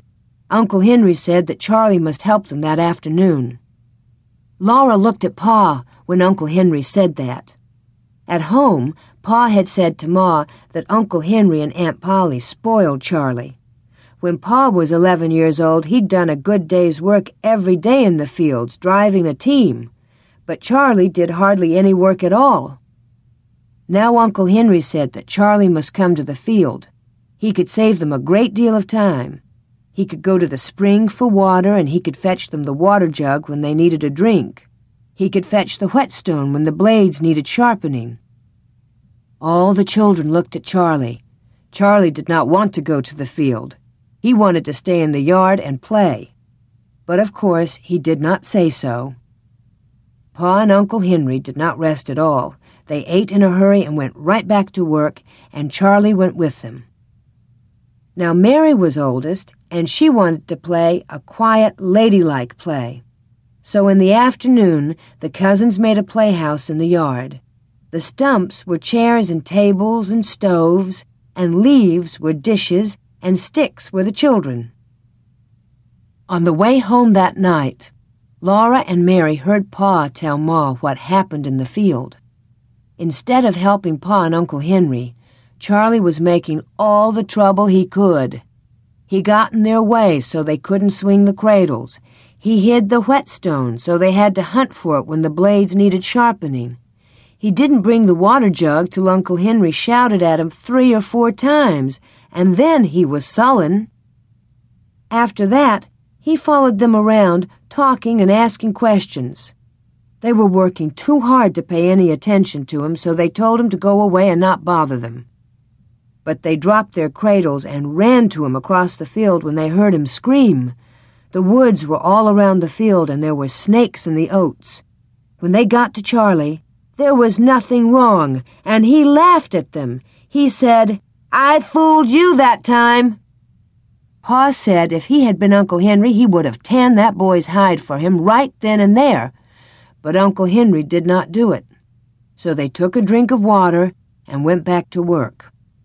Three times Charlie screamed, and they ran to him as fast as they could, and he laughed at them. He thought it was a good joke, and still Uncle Henry did not tan his hide.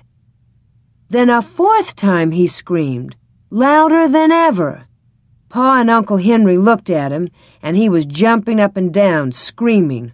They saw nothing wrong with him, and they'd been fooled so many times that they went on with their work. Charlie kept on screaming, louder and shriller. Pa did not say anything, but Uncle Henry said, Let him scream. So they went on working and let him scream. He kept on jumping up and down, screaming. He did not stop. At last Uncle Henry said, Maybe something really is wrong. They laid down their cradles and went across the field to him. And all that time Charlie had been jumping up and down on a yellow jacket's nest. The yellow jackets lived in a nest in the ground, and Charlie stepped on it by mistake. Then all the little bees in their bright yellow jackets came swarming out with their red hot stings, and they hurt Charlie so that he couldn't get away. He was jumping up and down, and hundreds of bees were stinging him all over. They were stinging his face and his hands and his neck and his nose. They were crawling up his pants legs and stinging and crawling down the back of his neck and stinging. The more he jumped and screamed, the harder they stung. Pa and Uncle Henry took him by the arms and ran him away from the Yellow Jacket's nest.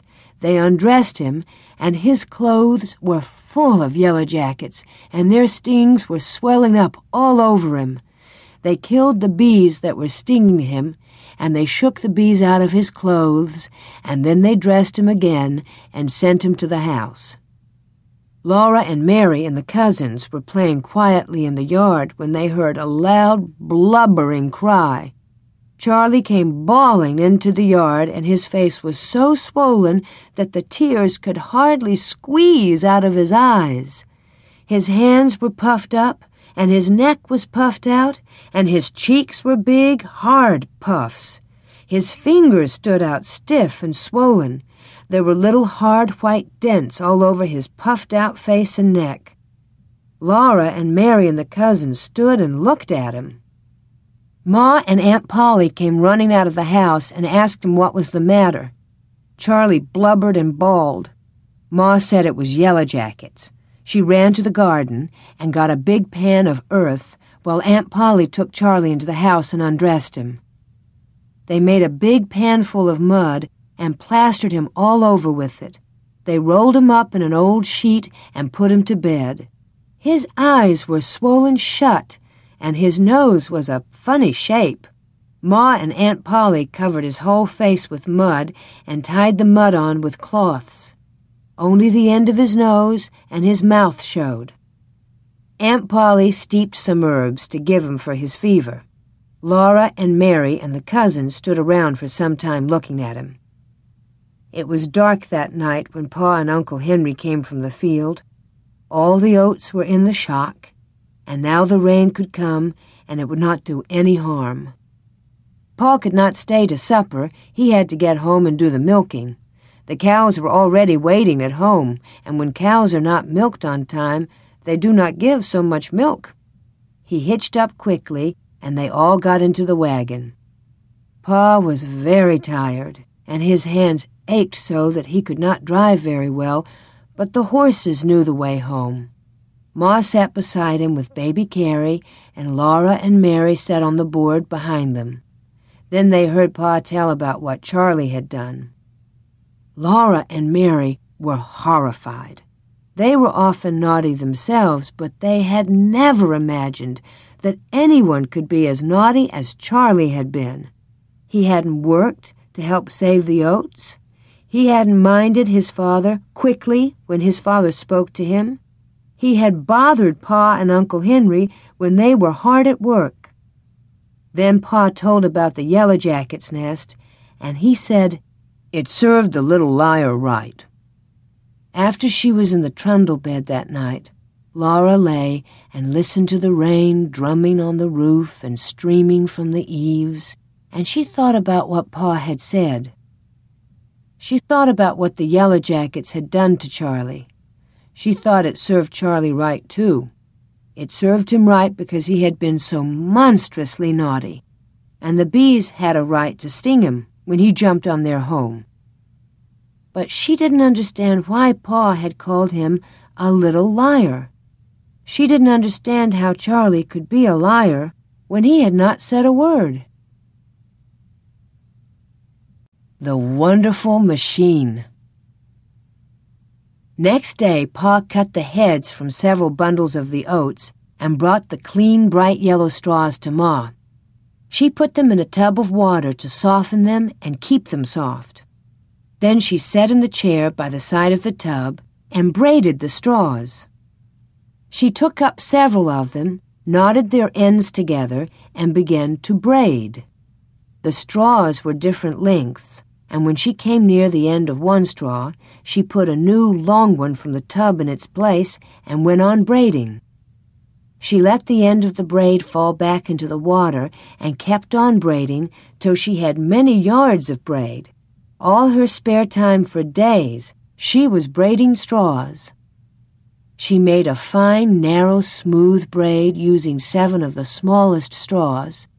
She used nine larger straws for a wider braid and made it notched all along the edges. And from the very largest straws, she made the widest braid of all. When all the straws were braided, she threaded a needle with strong white thread, and beginning at the end of a braid, she sewed it round and round, holding the braid so it would be flat after it was sewed. This made a little mat, and Ma said it was the top of the crown of a hat. Then she held the braid tighter on one edge and kept on sewing it around and around. The braid drew in and made the sides of the crown. When the crown was high enough, Ma held the braid loosely again as she kept on sewing around, and the braid lay flat and was the hat brim. When the brim was wide enough, Ma cut the braid and sewed the end fast so that it could not unbraid itself.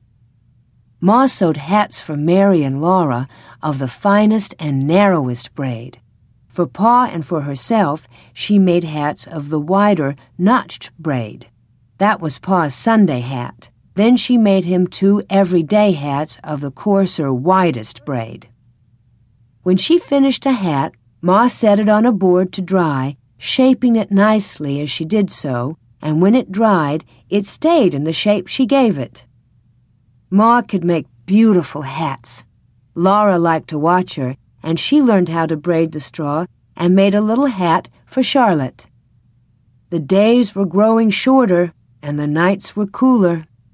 One night Jack Frost passed by, and in the morning there were bright colors here and there among the green leaves of the big woods. Then all the leaves stopped being green. They were yellow and scarlet and crimson and golden and brown. Along the rail fence, the sumac held up its dark red cones of berries above the bright flame colored leaves. Acorns were falling from the oaks, and Laura and Mary made little acorn cups and saucers for the playhouses. Walnuts and hickory nuts were dropping to the ground in the big woods, and squirrels were scampering busily everywhere, gathering their winter store of nuts and hiding them away in hollow trees. Laura and Mary went with Ma to gather walnuts and hickory nuts and hazelnuts. They spread them in the sun to dry then they beat off the dried outer hulls and stored the nuts in the attic for winter. It was fun to gather the large round walnuts and the smaller hickory nuts and the little hazelnuts that grew in bunches on the bushes. The soft outer hulls of the walnuts were full of a brown juice that stained their hands, but the hazelnut hulls smelled good and tasted good, too, when Laura used her teeth to pry a nut loose. Everyone was busy now, for all the garden vegetables must be stored away. Laura and Mary helped, picking up the dusty potatoes after Pa had dug them from the ground, and pulling the long yellow carrots and the round purple topped turnips, and they helped Ma cook the pumpkin for pumpkin pies. With the butcher knife, Ma cut the big orange colored pumpkins into halves. She cleaned the seeds out of the center and cut the pumpkin into long slices, from which she pared the rind. Laura helped her cut the slices into cubes. Ma put the cubes into the big iron pot on the stove, poured in some water, and then watched while the pumpkin slowly boiled down all day long. All the water and the juice must be boiled away, and the pumpkin must never burn. The pumpkin was a thick, dark, good smelling mass in the kettle. It did not boil like water, but bubbles came up in it and suddenly exploded, leaving holes that closed quickly. Every time a bubble exploded, the rich, hot pumpkin smell came out. Laura stood on a chair and watched the pumpkin from Ma and stirred it with a wooden paddle.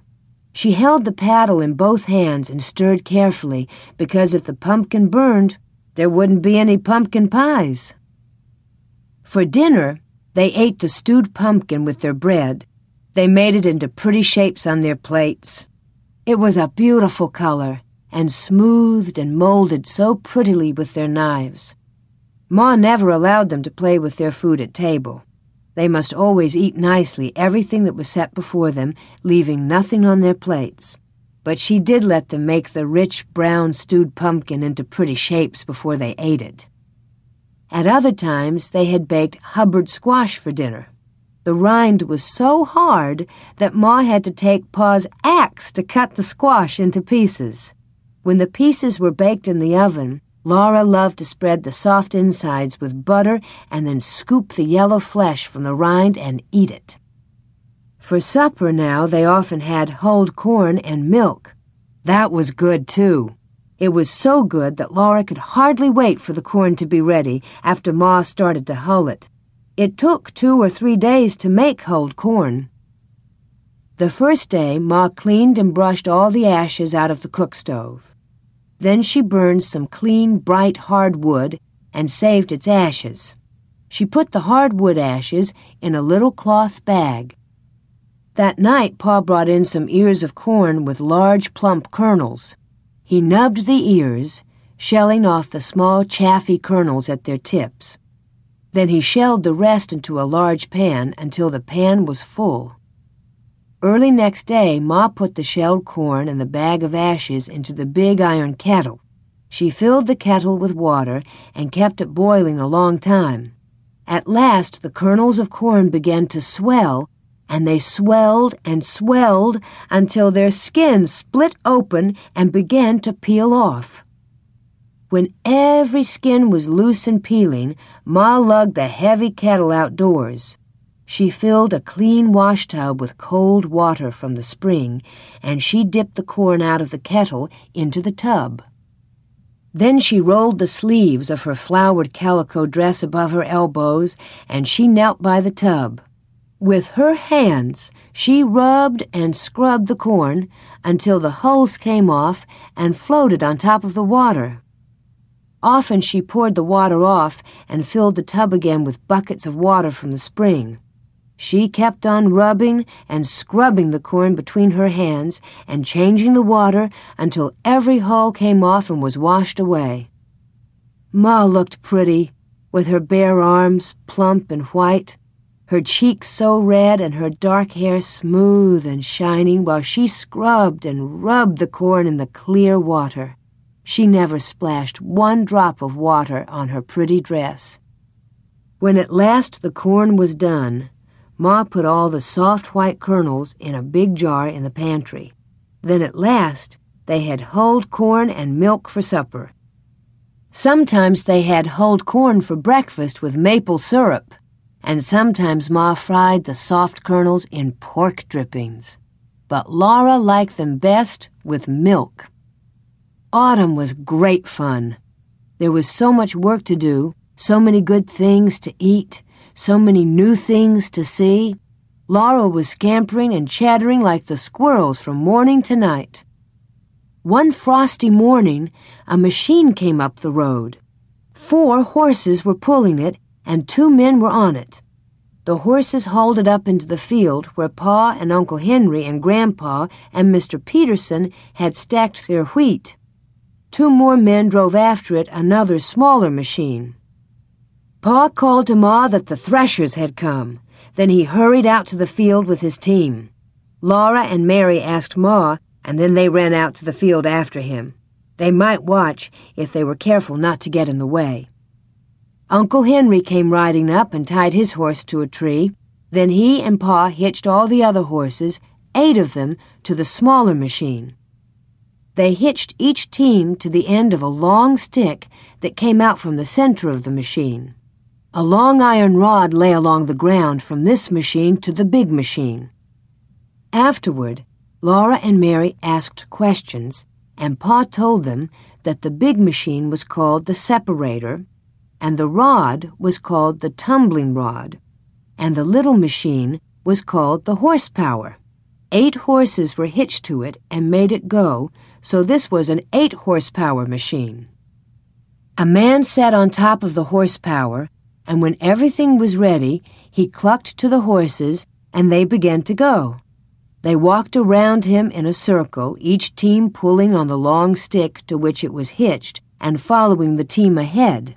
As they went around, they stepped carefully over the tumbling rod, which was tumbling over and over on the ground.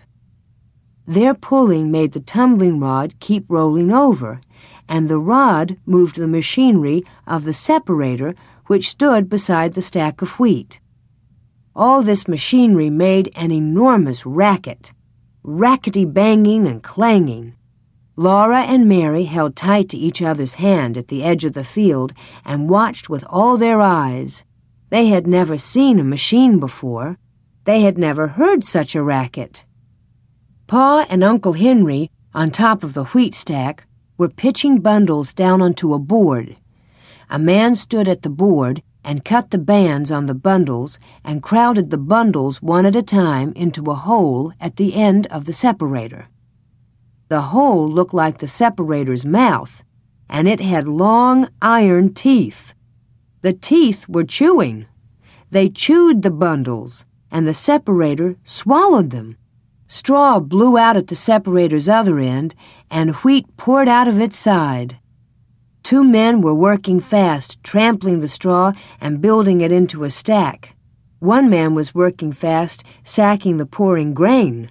The grains of wheat poured out of the separator into a half bushel measure, and as fast as the measure filled, the man slipped an empty one into its place and emptied the full one into a sack. He had just time to empty it and slip it back under the spout before the other measure ran over. All the men were working as fast as they possibly could, but the machine kept right up with them. Laura and Mary were so excited they could hardly breathe. They held hands tightly and stared. The horses walked around and around. The man who was driving them cracked his whip and shouted, Get up there, John! No use trying to shirk. Crack went the whip. Careful there, Billy. Easy, boy, you can't go but so fast nohow. The separator swallowed the bundles. The golden straw blew out in a golden cloud. The wheat streamed golden brown out of the spout while the men hurried. Pa and Uncle Henry pitched bundles down as fast as they could, and chaff and dust blew over everything. Laura and Mary watched as long as they could, then they ran back to the house to help Ma get dinner for all those men. A big kettle of cabbage and meat was boiling on the stove. A big pan of beans and a johnny cake were baking in the oven. Laura and Mary set the table for the threshers. They put on salt rising bread and butter, bowls of stewed pumpkin, pumpkin pies and dried berry pies and cookies, cheese and honey and pitchers of milk. Then Ma put on the boiled potatoes and cabbage and meat, the baked beans, the hot Johnny cake, and the baked Hubbard squash, and she poured the tea. Laura always wondered why bread made of cornmeal was called Johnny cake. It wasn't cake. Ma didn't know unless the Northern soldiers called it Johnny cake because the people in the South, where they fought, ate so much of it. They called the Southern soldiers Johnny Rebs Maybe they called the southern bread cake just for fun. Ma had heard some say it should be called journey cake. She didn't know. It wouldn't be very good bread to take on a journey. At noon, the threshers came in to the table loaded with food. But there was none too much, for the threshers work hard and get very hungry. By the middle of the afternoon, the machines had finished all the threshing, and the men who owned them drove them away into the big woods, taking with them the sacks of wheat that were their pay. They were going to the next place where neighbors had stacked their wheat and wanted the machines to thresh it. Pa was very tired that night, but he was happy. He said to Ma, it would have taken Henry and Peterson and Pa and me a couple of weeks apiece to thresh as much grain with flails as that machine threshed today. We wouldn't have got as much wheat either, and it wouldn't have been as clean. That machine's a great invention, he said. Other folks can stick to old fashioned ways if they want to, but I'm all for progress. It's a great age we're living in. As long as I raise wheat, I'm going to have a machine come and thresh it if there's one anywhere in the neighborhood. He was too tired that night to talk to Laura, but Laura was proud of him. It was Pa who had got the other men to stack their wheat together and send for the threshing machine, and it was a wonderful machine. Everybody was glad it had come. The Deer in the Wood The grass was dry and withered, and the cows must be taken out of the woods and kept in the barn to be fed. All the bright colored leaves became dull brown when the cold fall rains began. There was no more playing under the trees, but Pa was in the house when it rained, and he began again to play the fiddle after supper. Then the rain stopped. The weather grew colder. In the early mornings everything sparkled with frost. The days were growing short, and a little fire burned all day in the cook stove to keep the house warm. Winter was not far away. The attic and the cellar were full of good things once more, and Laura and Mary had started to make patchwork quilts. Everything was beginning to be snug and cozy again. One night, when he came in from doing the chores, Pa said that after supper he would go to his deer lick and watch for a deer. There had been no fresh meat in the little house since spring, but now the fawns were grown up, and Pa would go hunting again. Pa had made a deer lick in an open place in the woods, with trees nearby in which he could sit to watch it. A deer lick was a place where the deer came to get salt. When they found a salty place in the ground, they came there to lick it, and that was called a deer lick. Pa had made one by sprinkling salt over the ground. After supper, Pa took his gun and went into the woods, and Laura and Mary went to sleep without any stories or music. As soon as they woke in the morning, they ran to the window, but there was no deer hanging in the trees. Pa had never before gone out to get a deer and come home without one. Laura and Mary did not know what to think. All day Pa was busy banking the little house and the barn with dead leaves and straw held down by stones to keep out the cold. The weather grew colder all day, and that night there was once more a fire on the hearth, and the windows were shut tight and chinked for the winter. After supper, Pa took Laura on his knee while Mary sat close in her little chair, and Pa said, Now I'll tell you why you had no fresh meat to eat today. When I went out to the deer lick, I climbed up into a big oak tree. I found a place on a branch where I was comfortable and could watch the deer lick. I was near enough to shoot any animal that came to it, and my gun was loaded and ready on my knee. There I sat and waited for the moon to rise and light the clearing. I was a little tired from chopping wood all day yesterday, and I must have fallen asleep, for I found myself opening my eyes. The big round moon was just rising. I could see it between the bare branches of the trees low in the sky, and right against it I saw a deer standing. His head was up, and he was listening. His great branching horns stood out above his head. He was dark against the moon. It was a perfect shot, but he was so beautiful. He looked so strong and free and wild that I couldn't kill him. I sat there and looked at him until he bounded away into the dark woods. Then I remembered that Ma and my little girls were waiting for me to bring home some good fresh venison. I made up my mind that next time I would shoot. After a while, a big bear came lumbering out into the open. He was so fat from feasting on berries and roots and grubs all summer that he was nearly as large as two bears. His head swayed from side to side as he went on all fours across the clear space in the moonlight until he came to a rotten log. He smelled it and listened. Then he pawed it apart and sniffed among the broken pieces, eating up the fat white grubs. Then he stood up on his hind legs, perfectly still, looking all around him. He seemed to be suspicious that something was wrong. He was trying to see or smell what it was. He was a perfect mark to shoot at, but I was so much interested in watching him, and the woods were so peaceful in the moonlight, that I forgot all about my gun. I did not even think of shooting him until he was waddling away into the woods. Well, this will never do, I thought. I'll never get any meat this way. I settled myself in the tree and waited again. This time I was determined to shoot the next game I saw. The moon had risen higher, and the moonlight was bright in the little open place. All around it the shadows were dark among the trees. After a long while, a doe and her yearling fawn came stepping daintily out of the shadows. They were not afraid at all.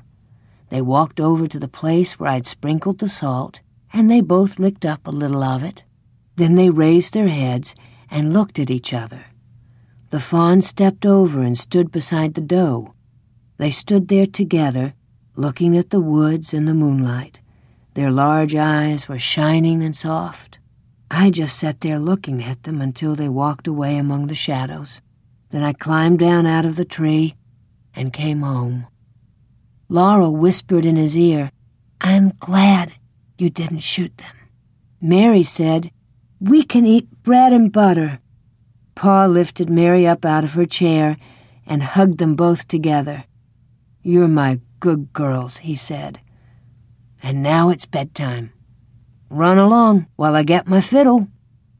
When Laura and Mary had said their prayers and were tucked snugly under the trundle bed's covers, Pa was sitting in the firelight with the fiddle. Ma had blown out the lamp because she did not need its light. On the other side of the hearth, she was swaying gently in her rocking chair, and her knitting needles flashed in and out above the sock she was knitting. The long winter evenings of firelight and music had come again. Pa's fiddle wailed while Pa was singing, Oh, Susanna, oh, don't you cry for me. I'm going to California, eh, the gold dust for to see. Then Pa began to play again the song about old Grimes. But he did not sing the words he'd sung when Ma was making cheese. These words were different. Pa's strong, sweet voice was softly singing, Shall old acquaintance be forgot and never brought to mind? Shall old acquaintance be forgot and the days of auld lang syne, and the days of auld lang syne, my friend, and the days of auld lang syne shall old acquaintance be forgot, and the days of auld lang syne. When the fiddle had stopped singing, Laura called out softly, What are days of auld lang syne, Pa? They're the days of a long time ago, Laura, Pa said. Go to sleep now. But Laura lay awake a little while, listening to Pa's fiddle softly playing and to the lonely sound of the wind in the big woods. She looked at Pa sitting on the bench by the hearth, the firelight gleaming on his brown hair and beard and glistening on the honey brown fiddle. She looked at Ma, gently rocking and knitting. She thought to herself, This is now. She was glad that the cozy house and Pa and Ma and the firelight and the music were now. They could not be forgotten, she thought, because now is now. It can never be a long time ago.